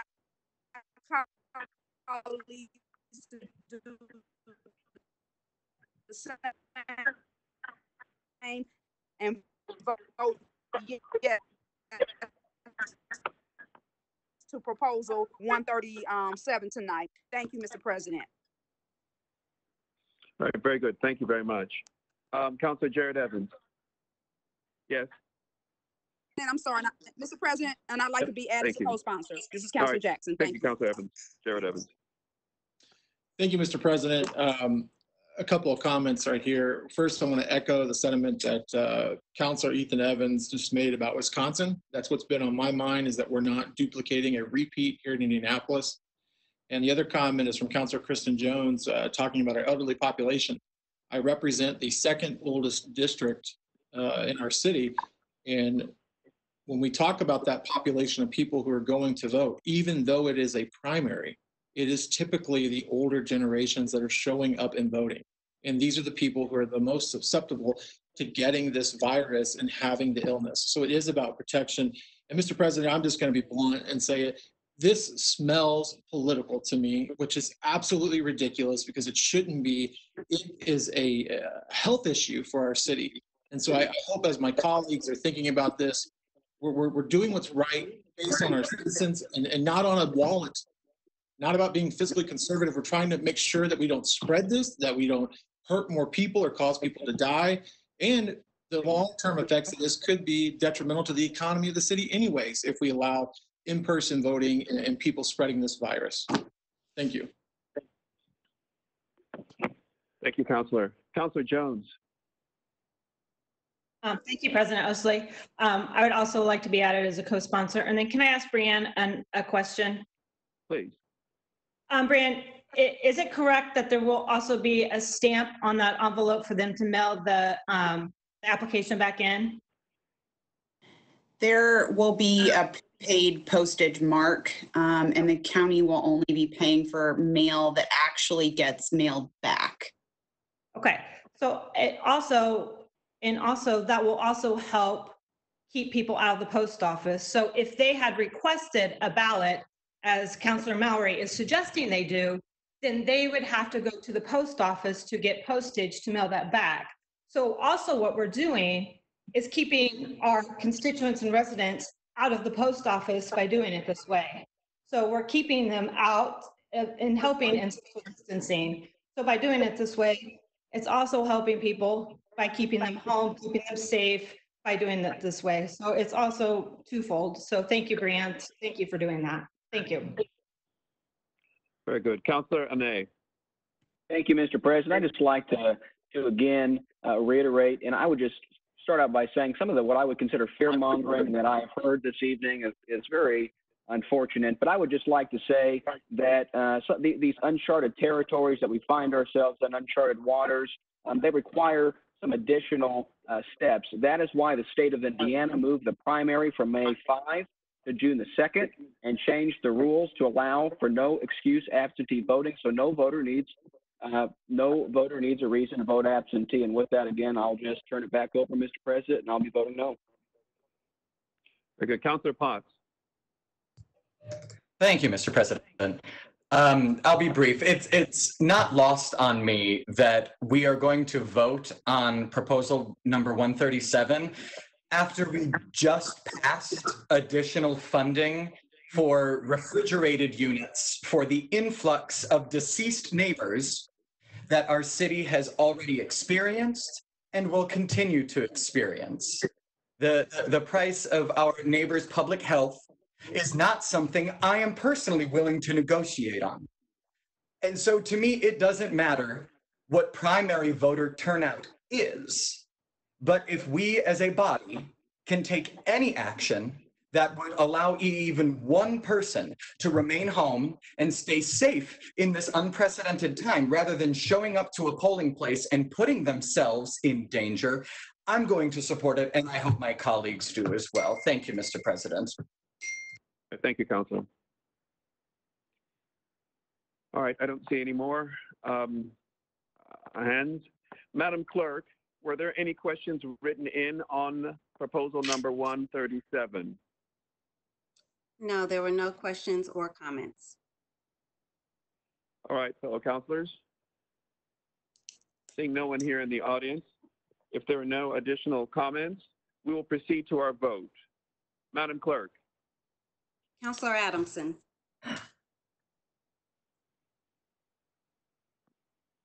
Counselor Adamson.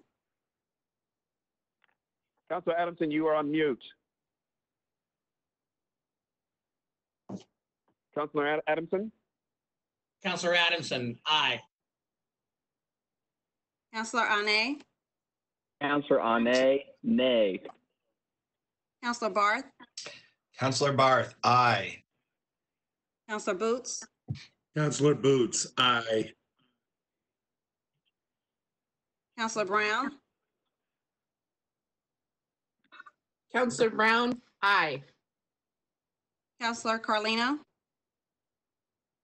Counselor Carlino, aye. Counselor Dilk. Counselor Dilk, nay. Counselor Evans. Ethan Evans. Counselor Ethan Evans, aye. Counselor Jared Evans.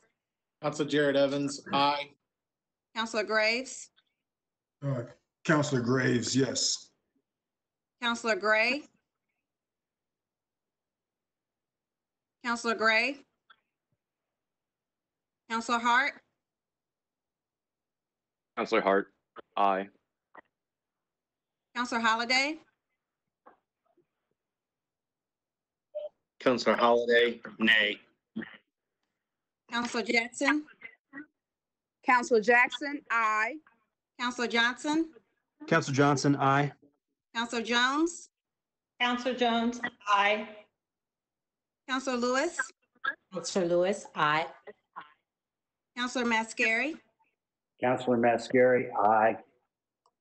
Counselor McCormick,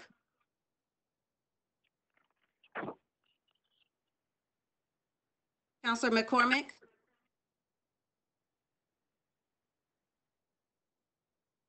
Counselor Mowery, Counselor Mowery, nay. Counselor Oliver, Counselor Oliver, aye.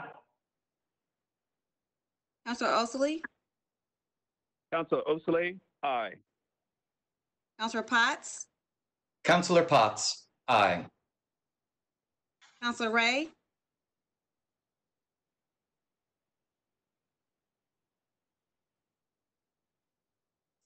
Counselor Ray, Counselor Robinson, Counselor Robinson, aye.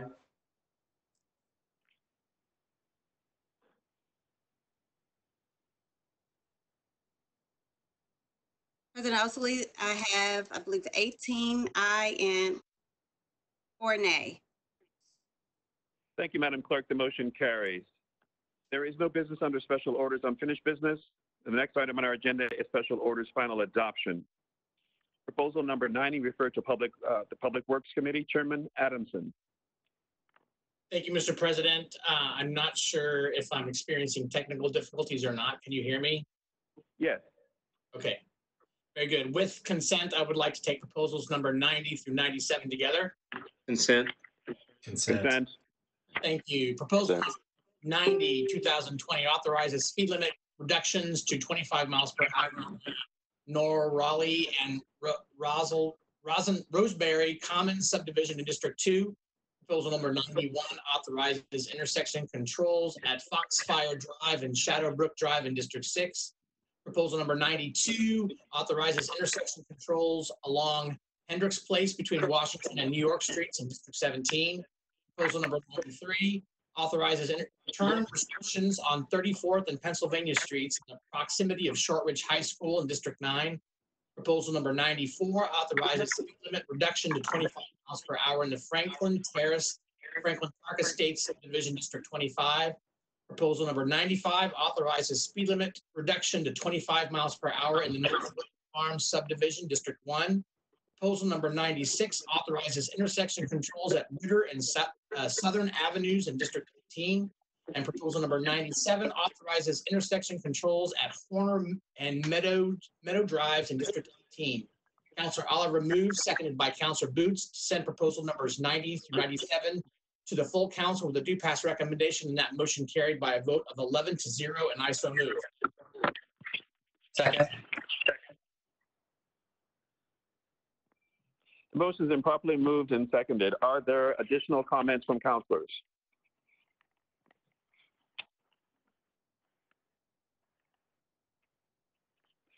Seeing none, we will proceed to our vote. Madam Clerk. Counselor Adamson, Counselor Adamson, aye. Counselor Annee, Counselor Annee, aye. Counselor Barth, Counselor Barth, aye. Counselor Boots, Counselor Boots, aye. Counselor Brown, Counselor Brown, aye. Counselor Carlino, Counselor Carlino, aye. Counselor Dilk, Counselor Dilk, aye. Counselor Ethan Evans, Counselor Ethan Evans, aye. Counselor Jared Evans, Counselor Jared Evans, aye. Counselor Graves, Counselor Graves, aye. Counselor Gray, Counselor Gray, Counselor Hart, Michael Hart, aye. Counselor Hart, Michael Hart, aye. Counselor Holliday, Counselor Holliday, aye. Counselor Jackson, Counselor Jackson, aye. Counselor Johnson, Counselor Johnson, aye. Counselor Jones, Counselor Jones, aye. Counselor Lewis, Counselor Lewis, aye. Counselor Mascari, Counselor Mascari, aye. Counselor McCormick, Aye, Counselor McCormick, aye. Counselor Mowery, Counselor Mowery, aye. Counselor Oliver, Counselor Oliver, aye. Counselor Osili, Counselor Osili, aye. Counselor Potts, Counselor Potts, aye. Counselor Ray, Counselor Counselor Ray, Ray's having technical difficulty. He's an aye. Counselor Robinson, thank you. Counselor Robinson, aye.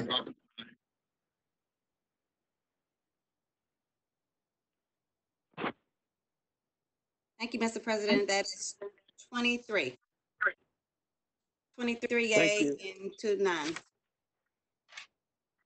Thank you, Madam Clerk. The motion carries. The next item on our agenda is proposal number 102, referred to Rules and Public Policy Committee. Chairman Johnson. Thank you, Mr. President. Proposal number 102 amends section 151-23 of the code regarding council committees. Chair Osili stated the Rules and Public Policy Committee is one of three permanent committees of the council, and that proposed amendment would allow for the appointment of more than eight counselors as the code currently prescribes. Counselor Johnson moves, seconded by Counselor Robinson, to send proposal number 102, 2020 to the full council with a due pass recommendation. Motion carried by a vote of seven to zero. Mr. President, I so move. Thank you, uh, Chairman Johnson. It's been moved. Is there a second? Second? Thank you. Are there any comments from councilors on proposal number 102? All right, seeing none, we will proceed to our vote. Madam Clerk. Counselor Adamson.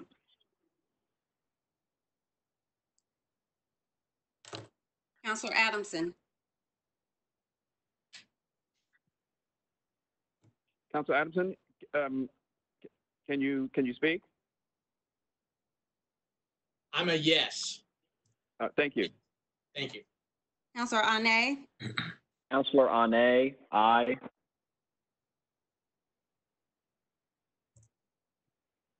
Counselor Barth, Counselor Barth, aye.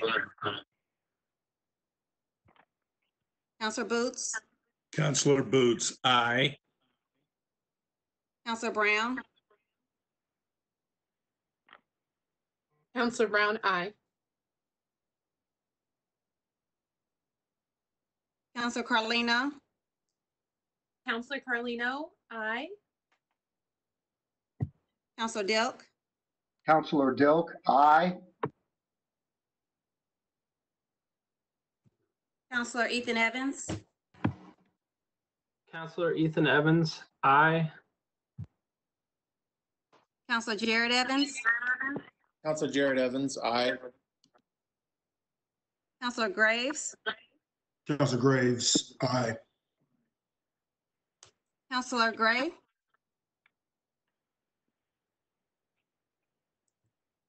Counselor Hart, Michael Hart, aye. Counselor Holliday, Counselor Holliday, aye. Counselor Jackson, Counselor Jackson, aye. Counselor Johnson, Counselor Johnson, aye. Counselor Jones, Counselor Jones, aye. Counselor Lewis, Counselor Lewis, aye. Counselor Mascari, Counselor Mascari, aye. Counselor McCormick, Aye, Counselor McCormick, aye. And, uh, Madam Clerk, can you please count for one thirty-seven that I'm aye as well? I had internet issues.